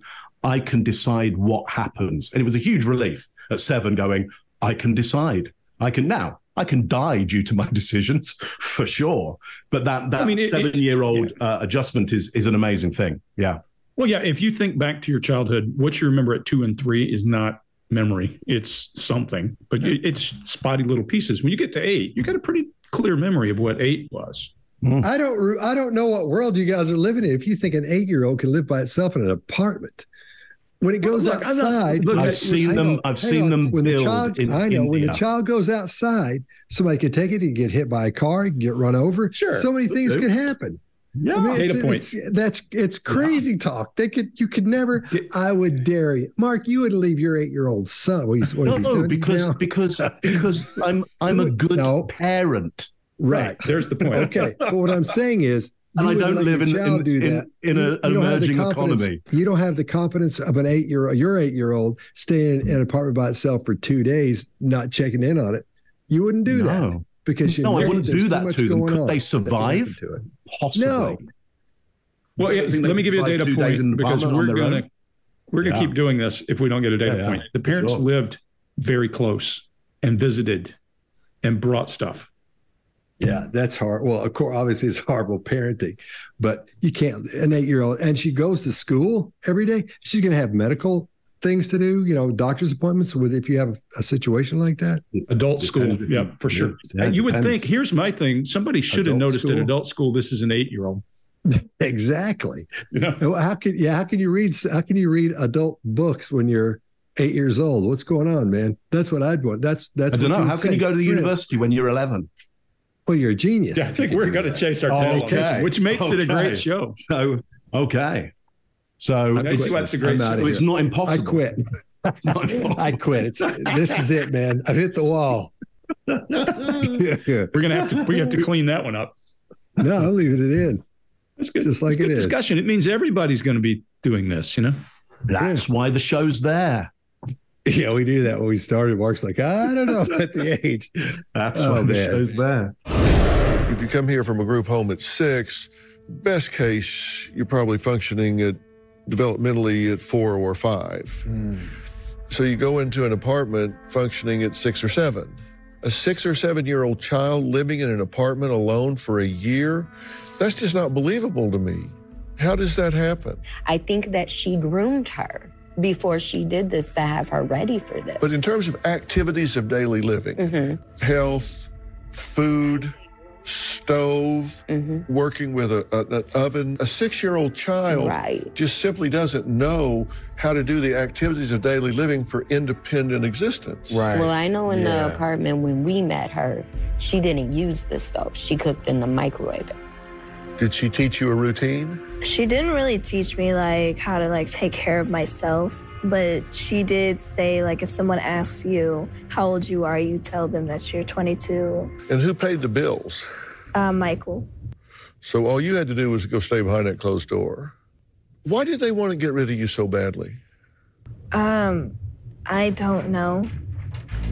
You know, you, you leave one family because they say you were violent with the boy and almost broke his arm. And then you're with another family and they say, well, you tried to poison her, threatened to stab him. You've had her now for six or seven years. It's almost seven years. In this six or seven years, have any of the things that she has been accused of doing that this prior family has alleged that she's done happened at your home? No, not at all. She would get into trouble just like any normal child would. She didn't display any kind of psychotic behavior. We've had three kids since she's been with us. She's been there for the delivery of one literally in the delivery room. All right, Greg, what do you got? So I see disapproval and pursed lips when she's going through this conversation. There's also some sarcasm and contempt, and that vocal fry in this case is not like the eh, this is condemning and judgmental. You can't miss it as she's kind of angry about this. There's a new adapter and a barrier as she puts her hand on her leg and she starts to move her fingers. Her her lips purse at when they're going to Canada, and that head nod that she's doing, I think, is her in contempt for these folks. Whether she was eight or 18, who knows? Don't care she's angry about this. I think it shows very clearly. Mark, what do you see? Yeah, Canada's a, a, lovely place, and, and, and, many of you should should visit. That you should leave somebody in your care uh, to do that, regardless of the age. I'm not sure, especially if they're a they're a you know a young teenager, a tween. Um, look, here's what comes. You know, it, there is a stillness to her and composure that is is not does not correlate to a 16 year old under stress and pressure. Now, so you know that was my instant reaction to this. There is something about her demeanor which is way beyond her years and experience for somebody in this situation. For for somebody of her age, I would want to see more concave here. Now, and then I go, well, hang on. She has a body type which is you know, out of the ordinary. Um, I would want to see more self soothing from her. Yeah. And then I think to myself, yeah, but she's been potentially through, if she's been through the traumas that she's been through, she might be beyond self soothing and the carer keeps on soothing her. And then I go, well, she's very comfortable with that for a 16 year old. You know, many 16 year olds that I'm thinking of after a while would go, yeah, come on, leave me alone. I'm all right. I'm an adult. I'm, I'm big now. I'm an adult now. Well, okay, but there may be a discrepancy there between, you know, is she, a, does she have the emotional capacity of somebody of her age. She may well have an intellectual capacity way beyond uh, her age. So precocious beyond her years uh, feels very odd at this point and in this situation, but at the same time, it's not impossible. It's not impossible. Uh, Chase, what do you got on this one? Yeah, I, I tend to agree. And when Dr. Phil is talking about uh, the food, stove, ex, uh, just daily existence, watch her eyes. She goes into this mental processing plan uh, to plan out how to respond to all this. That's not deceptive on its own. Remember, we always talk about clusters here. But then the adults here go ahead and do it all for her as if she's still a, a tiny kid. And notice she doesn't explain this at all. And in my opinion, a rational, reasonable person, which she is claiming to be, would be totally fine explaining what daily life was like and how they managed to survive. You know what else they would have? Emotions about it, any emotion. And there's not much of anything here. Scott? All right. I think she's brought a team with her, in other words, to help her with this. I don't think it was laid out as a team and let's do this. But I think that's what those the parents are functioning as to keep her protected, not only from the world because she's she was eight or, no, she's not eight, but protect from the world to protect her from what's going on there. And so when they when Dr. Phil asks questions, did this happen? This happened? Yes, it did. Or did this not happen? No, it didn't. So I think I think they're they're acting as well as as as a as a team at that point, rubbing on her hand, uh, being very protective of her. So, uh, and I think Dr. Phil made my, helped make my point there about being eight years old and not being able to survive. Mark. There's not a lot of factors that I agree, Mark. yeah, there is. I'm just messing with you, man. One of those tape replays. If you come here from a group home at six, best case, you're probably functioning at developmentally at four or five. So you go into an apartment functioning at six or seven. A six or seven year old child living in an apartment alone for a year, that's just not believable to me. How does that happen? I think that she groomed her before she did this to have her ready for this. But in terms of activities of daily living, Mm-hmm. health, food, stove, Mm-hmm. working with a, a- an oven, a six year old child Right. just simply doesn't know how to do the activities of daily living for independent existence. Right. Well, I know in Yeah. the apartment when we met her, she didn't use the stove. She cooked in the microwave. Did she teach you a routine? She didn't really teach me like how to like take care of myself, but she did say like if someone asks you how old you are, you tell them that you're 22. And who paid the bills? Uh, Michael. So all you had to do was go stay behind that closed door. Why did they want to get rid of you so badly? Um, I don't know. You know, you, you leave one family because they say you were violent with the boy and almost broke his arm. And then you're with another family and they say, well, you tried to poison her, threatened to stab him. You've had her now for six or seven years. It's almost seven years. In this six or seven years, have any of the things that she has been accused of doing that this prior family has alleged that she's done happened at your home? No, not at all. She would get into trouble just like any normal child would. She didn't display any kind of psychotic behavior. We've had three kids since she's been with us. She's been there for the delivery of one literally in the delivery room. You know I was messing with you, Mark. Oh, you should watch watch him watch him at the end of the full show. No, so Oh, yeah. you know I was messing with you earlier, right? I'm Yeah, yeah, yeah. No, no. I'm just Okay, saying. making sure. I'm just saying. Other people will have maybe watched the full show and know his reaction at the end. Oh, Yeah. what, what is Yeah, it? yeah, yeah. Well, I'll keep it a secret from you. Yeah. Okay. but I it don't what you, you're thinking it is.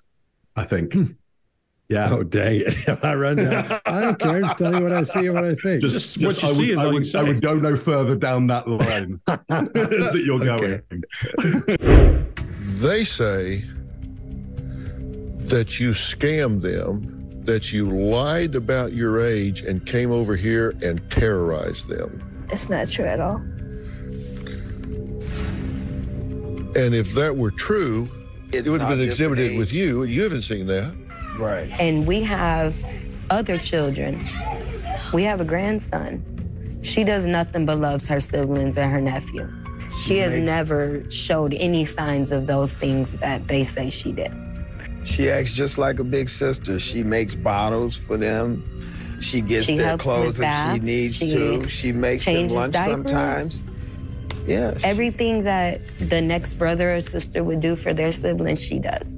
Here's what America's asking themselves right now. Okay. Here's this obviously very nice couple, and they've got a 14 year old, a seven year old, and a newborn on the way. And they're moving in a child that somebody's saying she can look okay one minute and be psychotic the next. Were you at all concerned at the time that we could be putting the children that we have in jeopardy? We were not. Mark, what do you got? Uh, yeah. Okay. So I see real tears. That's uh, it's not impossible to produce those. Uh, so it could be. It could be uh, that she has, uh, but she's n- got no feelings, and she's managed to uh, execute some very, very good, subtle tearing there. I mean, really good. Um, it's more probable, I would say, that it's the real thing. So interesting. I mean, I don't know that for sure. I'm just going on probability based on my experience.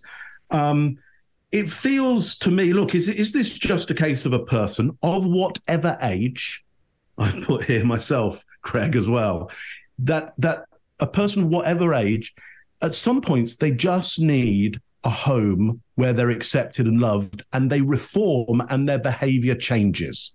Okay, and really that's all I can say about this this one because it's because there's something here um, of quite a human story if it if it is reform that as a as an errant um, uh, teenager and the Dr. Phil show um, you know does does does work very well with those kind of personalities. They are great on on the show because an errant te- teenager off the rails is like nothing else that you've seen. They they they they know no consequence. They know no. They got hormones going around their body that means you know even if they are socially adjusted, if those hormones are at a certain level, like all bets are off as to what the behavior is is going to be, and even whether there's going to be any apology or acknowledgement uh, afterwards. So, but could she this person go into a home whereby there is a distinct change of behavior and what often you know some of the systems that we've all worked in uh, would would then call reform essentially. Is there reform? Well those systems hope that is the case. I know i know from my experience that there in, in many cases there is it, reform is is a lovely dream but not a possibility uh, with with some uh, personality uh, some personalities. Um, but is it possible with her? Could it have happened here? Yeah, I think it is. It is possible, no matter what what age. Uh, Scott, what do you got on this one?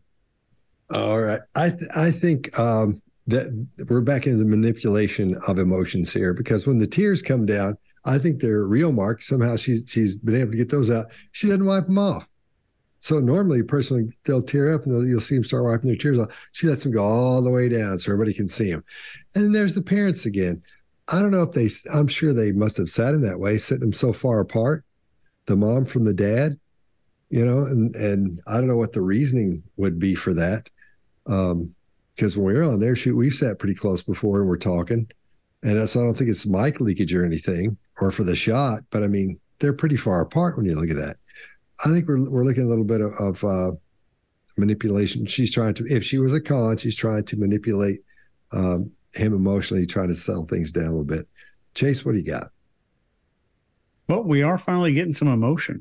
And when Dr. Phil asks about these other families making accusations of the terrorizing and stuff, she says uh, it's not true at all. During this denial, there is a crystal clear expression of disgust. And if you just want to imagine what disgust does to your face, imagine opening a thing of milk that's like seven months past due, expired, and sticking your nose in there. Disgust makes everything on your face go towards the middle, pretty much. That's kind of what it does. So then the lower jaw comes out again, which we do universally when we're concealing anger or attempting to. And about these tears, the tears you're seeing on the face aren't being matched with a hint of sadness. Uh, although the edits cut her out a lot, there's no sadness on the facial expression. Uh, there's no sadness genuinely present on the face. So this crying is either something being performed, number one, mimicked, number two, because it's an expected behavior she's witnessed from other people, uh, or it's out of genuine self pity. It could be maybe one of those three. That's all I got. Scott? It's great. Great. Yeah, so it might be self pity, but something is causing her pain. The reason I say that is look at her chin. Look at her chin boss. We always talk about that. It's engaged in this one. No grief muscle, but she doesn't use her forehead a whole lot anyway. We see very little forehead movement in her. And I see that as control tears that escape. I think this may be look, uh, people I've known who are emotionless when you get a tear, it's almost anger in them most of the time. It's real close to them coming unbolted because they don't know how to use those emotions typically. There's also a couple of other interesting things. When when people in their preteens or people are really young, you'll see a lot of expression of emotion in their face as they're trying to learn to control those. Where we all will mask, often they can't. She's masking pretty strongly. I think if she were young, I would expect to see those emotions boil out, and she's awfully controlled. But again, we get back to her past. Mark, I think you said sometimes people need to be loved. I think it's even more than that. Look, when if you're the kind of person who lashes out with anger and aggression out of whether it's grief or whatever causes you to do it, and you lash out with anger and aggression, and the people you live with think that's a horrible thing and respond in kind, then there's an escalation. Whereas if you get with these people, they seem to be pretty laid back. I mean, we can't tell, but they may be accustomed to children who lash out, where they're they're biological children or others, and they just go, yeah, okay, whatever. And then you know, there's a thing called extinction of behavior. If you neither reward nor punish, behavior disappears, and that happens fairly often in these situations. So let's just give that the benefit of a doubt. But there is a lot of masking. There's a lot of stuff going on. The one place that makes me really interested is go back and watch when Dr. Phil asked, You haven't seen any of that, have you? Look at the apprehension in her body language. Her hand moves just a little, and her face opens up, her eyes look over, and she breathes in a deep breath.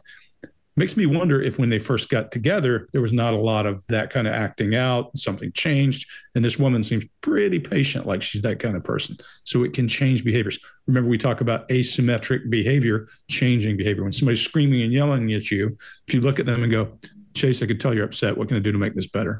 That person will tone right down because they feel really stupid yelling at someone who isn't yelling. Sometimes that's what it takes. That's all I got. One of those tape replays. They say that you scammed them, that you lied about your age and came over here and terrorized them. It's not true at all. And if that were true, It's it would have been exhibited different with you, you haven't seen that. Right. And we have other children. We have a grandson. She does nothing but loves her siblings and her nephew. She has makes- never showed any signs of those things that they say she did. She acts just like a big sister. She makes bottles for them. She gets She their clothes if she needs She to. She makes them lunch diapers. sometimes. Yeah. Everything that the next brother or sister would do for their siblings, she does. Here's what America's asking themselves right now. Okay. Here's this obviously very nice couple, and they've got a 14 year old, a seven year old, and a newborn on the way. And they're moving in a child that somebody's saying she can look okay one minute and be psychotic the next. Were you at all concerned at the time that we could be putting the children that we have in jeopardy? We were not. You say you're 16. Are you a 33 year old scam artist? No. No. no. I promise you I'm not. But you, you understand the inconsistencies here because if somebody asked me, can you drop an eight year old child off in an apartment for a year and come back and they'll be doing fine? I would say absolutely not. Right. But yet, that's what we're expected to believe here that without cash, credit cards, physical abilities to do certain things, that, that she just functioned fine in an apartment for a year. That's hard to believe. We we get that. But when she stayed in her first apartment, they were there more. It was the second apartment. I believe if we wouldn't have met her, it would have been terrible for her. Okay, so the Barnetts, Kristine and Michael, you say had her re-aged. Yes. Mm-hmm. All right, Greg, what do you got? I'm just going to do one thing here. I'm only going to talk about one thing, and that is that absolute baseline deviation when she's accused of being an evil dwarf overlord or whatever he calls her. And you see that baseline change with that really nervous face. Sometimes it's just that. But there's a great follow up by Dr. Phil that says, because. I'll just leave it at that. Why? Why? Why? You know, my my nature is to say baseline deviation is everything. I don't know whether it's because she's done something in the past, whether it's because all this is true, but something is wrong in that video. Mark, what do you got? Yeah. Um, so she finds the idea, I would say, of being a 33 year old scam artist, which is kind of what's put forward 33 year old scam artist. There's that laughter, and I think she finds it absurd. Now, I'm not saying that's a good thing because I think she she should rather find that more distressing um, if she is uh, if she was a young uh, a young girl uh, at at the time. However, putting with this that she may well be precocious, uh, then then you know who knows what the reaction should be in this situation. Again, there's su- this is such an extraordinary situation that number one, you know, we're doing a show and we're having great conversations about it. I'm sure you're there at home going, what on earth is going on here? Like, what is it? Is it this or is it this or is this? You know, Dr. Phil's got a great show on it. There's a TV show on it.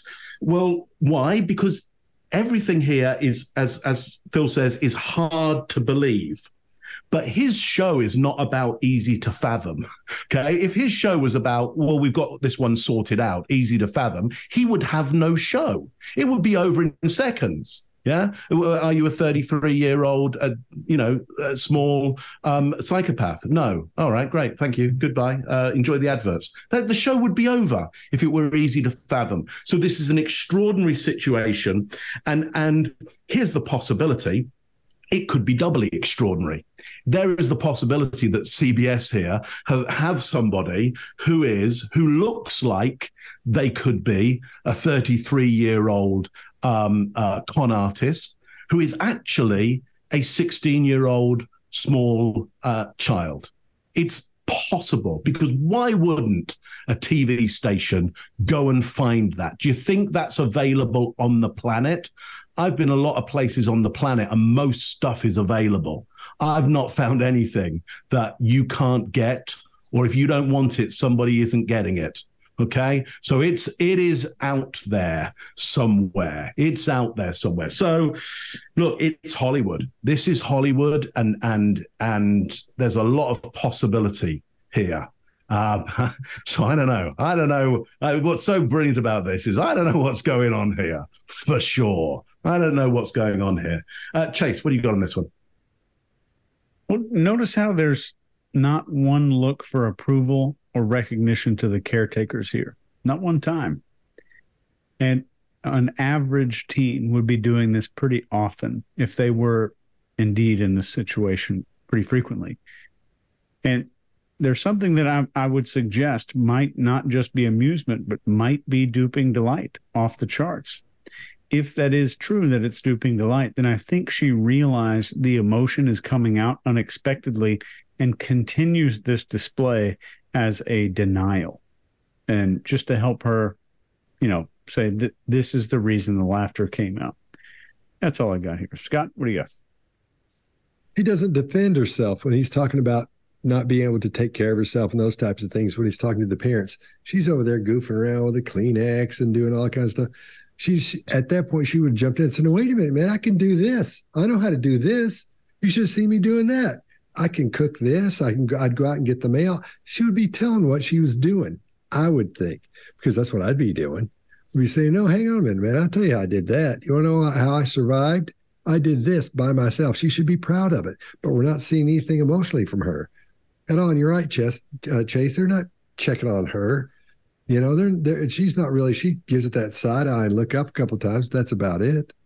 So, uh, she there's the the emotions that should be there, in my opinion, from her standpoint at that age. I don't see him there. Uh, I will say, oh, that's everybody. I will say, our first time we were on Dr. Phil, I was sitting there in those giant chairs. I was like, I don't know where to look. Where do I put my eyes? What do I do? uh, so yeah, maybe that's, that's going on. Yeah. The first time I was on there by well, and myself. this is in the house. This is in the yeah. house. And you don't, yeah. you weren't even accused of being a 33 year old, uh, you know, dwarvish uh, psychopath. You're right, 37 during that one. yeah, right, right, exactly. yeah. When I when I was the age difference.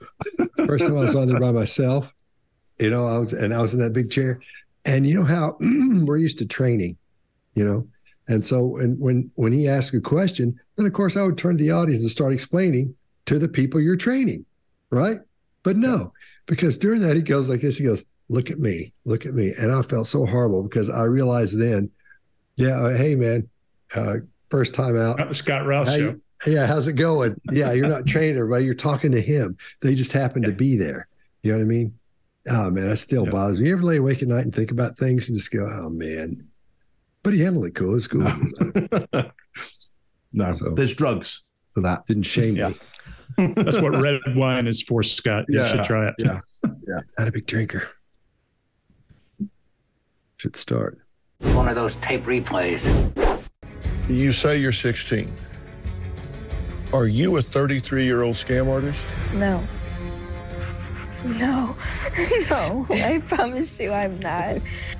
But you, you understand the inconsistencies here because if somebody asked me, can you drop an eight year old child off in an apartment for a year and come back and they'll be doing fine?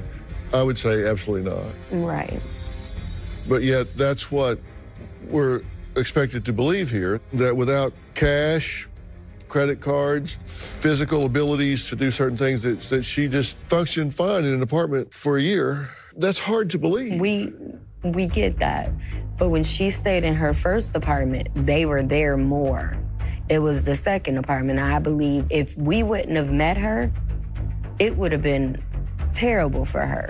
Okay, so the Barnetts, Kristine and Michael, you say had her re aged. Yes. Mm-hmm. So I guess it comes down to whether or not you are an evil psychopath demon child that's come over here to murder everybody.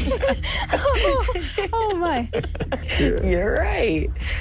I mean, you know, she's painted you as an evil sociopath. Some evil dwarf is going to like pop up and poison their coffee or stab them in their sleep or whatever. But if that's true, I guess they brought out the worst in you because you certainly haven't tried to murder you 2 Let's assume they've made all of this up.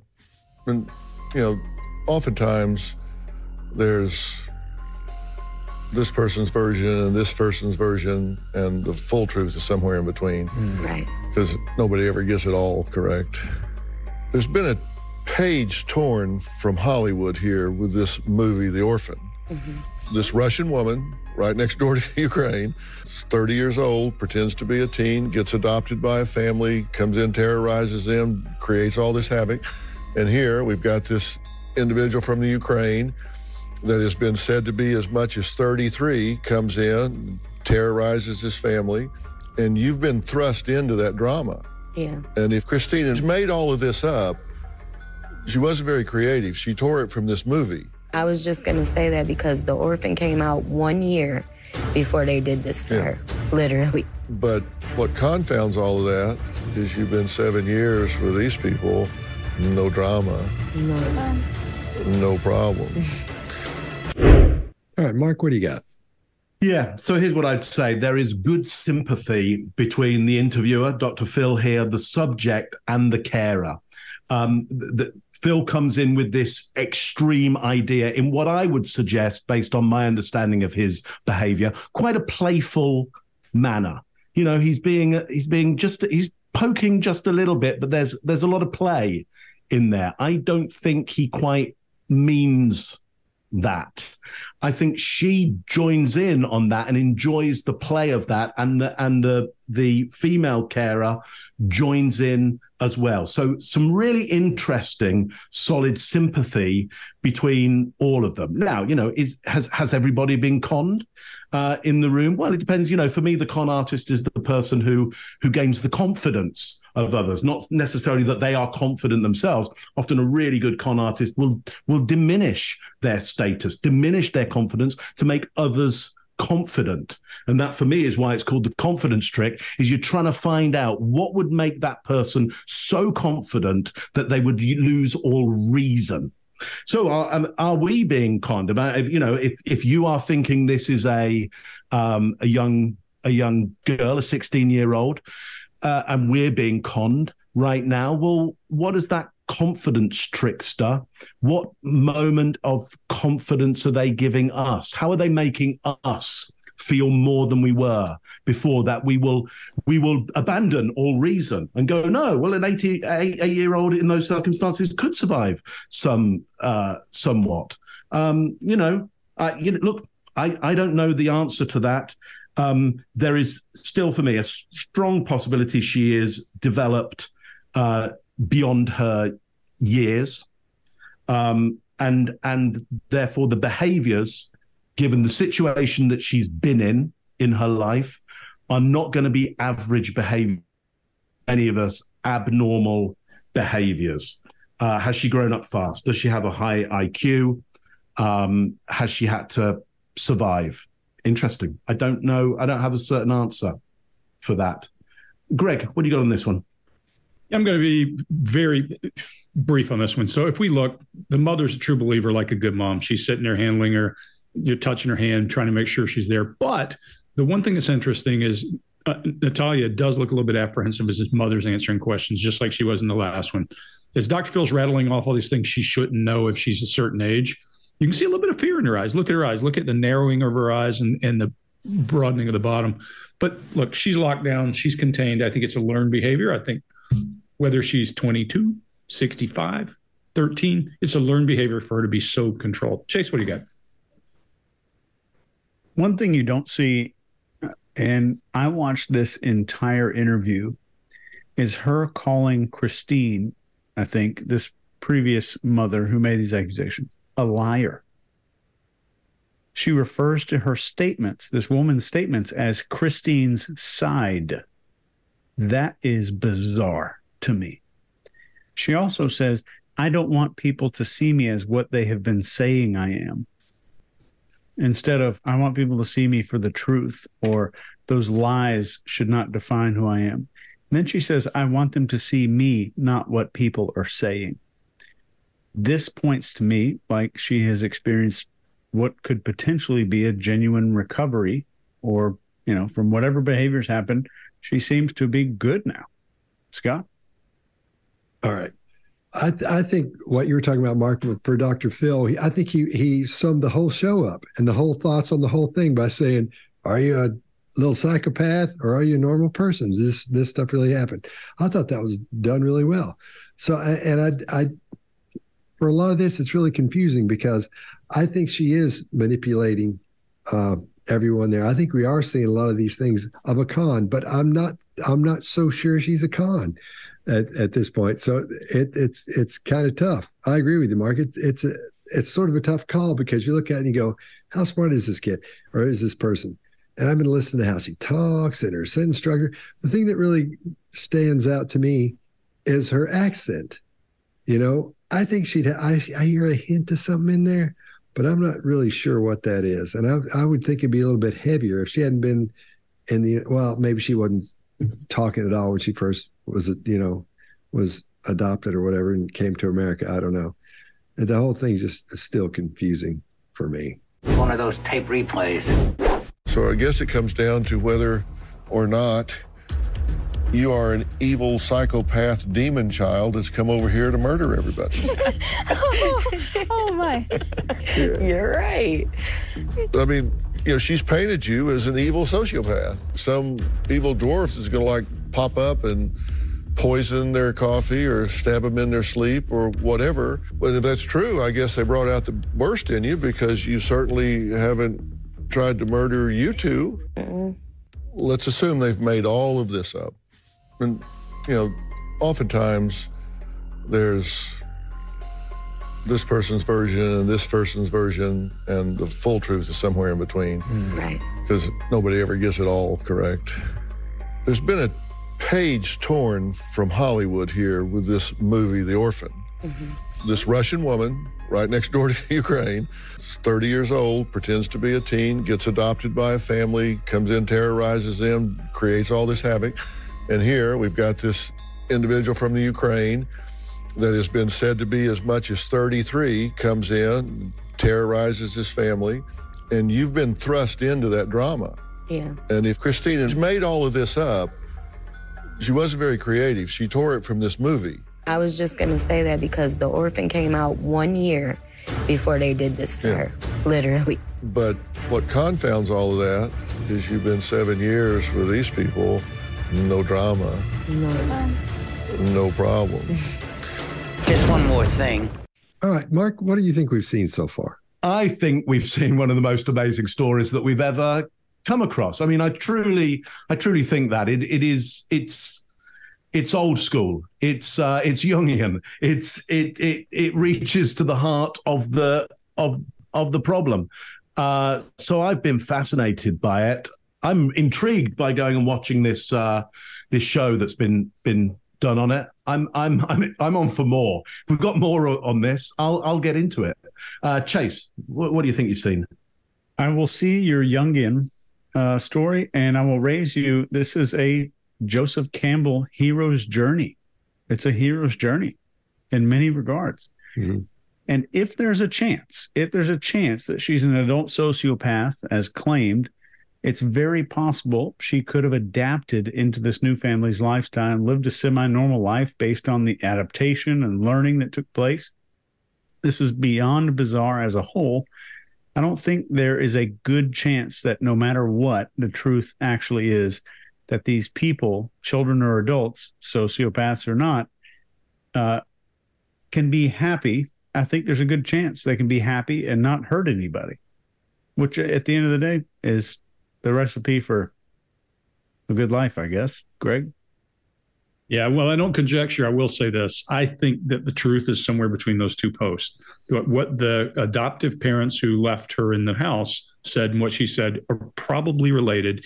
She probably did do some of the stuff they said with a knife, with acting out. Because let's assume for just a minute, forget six. Let's say she's 12 and she was masquerading as six to get adopted because kids who are 12 don't get adopted. Just take that as a, a, hypothetical. Then she comes here and she's lashing out because that's what she knows. She's not a very physical person, so she lashes out with words or threats and tools. Then, of course, now a person who sees this hyperbole, and we'll see her father before too long. And when we see her father, these people talk in big, grandiose words that are very different from the way she speaks. Now, somewhere in the middle of that's probably the truth. And I think her age is probably somewhere in the middle as well. Scott, what do you got? I, I totally agree with you. I, I think she she came on being a little mean person there for a while and then realized you can't keep doing that. And she got hooked up some some people she liked. I think it's kind of straightened out for her. So I but at the same time, I think this is a really uh, a good one because we still don't know what the hell is going on in there. you know, we can't figure it out. Nobody can. So it's it's one of those things where you just look at it and go, "Wow," you know, what what is what what, what what's going on? So that's the way I feel because I, I look at this and I go, I see some con in there, man. But that may be the way she approaches the world from being the situation she's in, trying to get, you know, being afraid of of failure or whatever and trying to get get along with that's why she's got along so far. If she has been with 30 families if she has been through all that stuff then you're to like greg was talking about earlier you're to take on some of these things to make sure to to help they'll be in your toolkit to help things go smoothly for you. And they may be a little manipulative and they may be a, a, little you know uh, redirected from one thing to the next thing to something that's even better you know distracting to get things done so I, I, I just I think this is a fascinating one, and I feel like right now we're sort of at a point where we all sort of think think the same thing. We're not sure what's I'm I'm at the point where I'm really not sure what the heck's going on here. So, all right, fellas, I think this was a good one, and uh, we'll see you next time. So what do you got?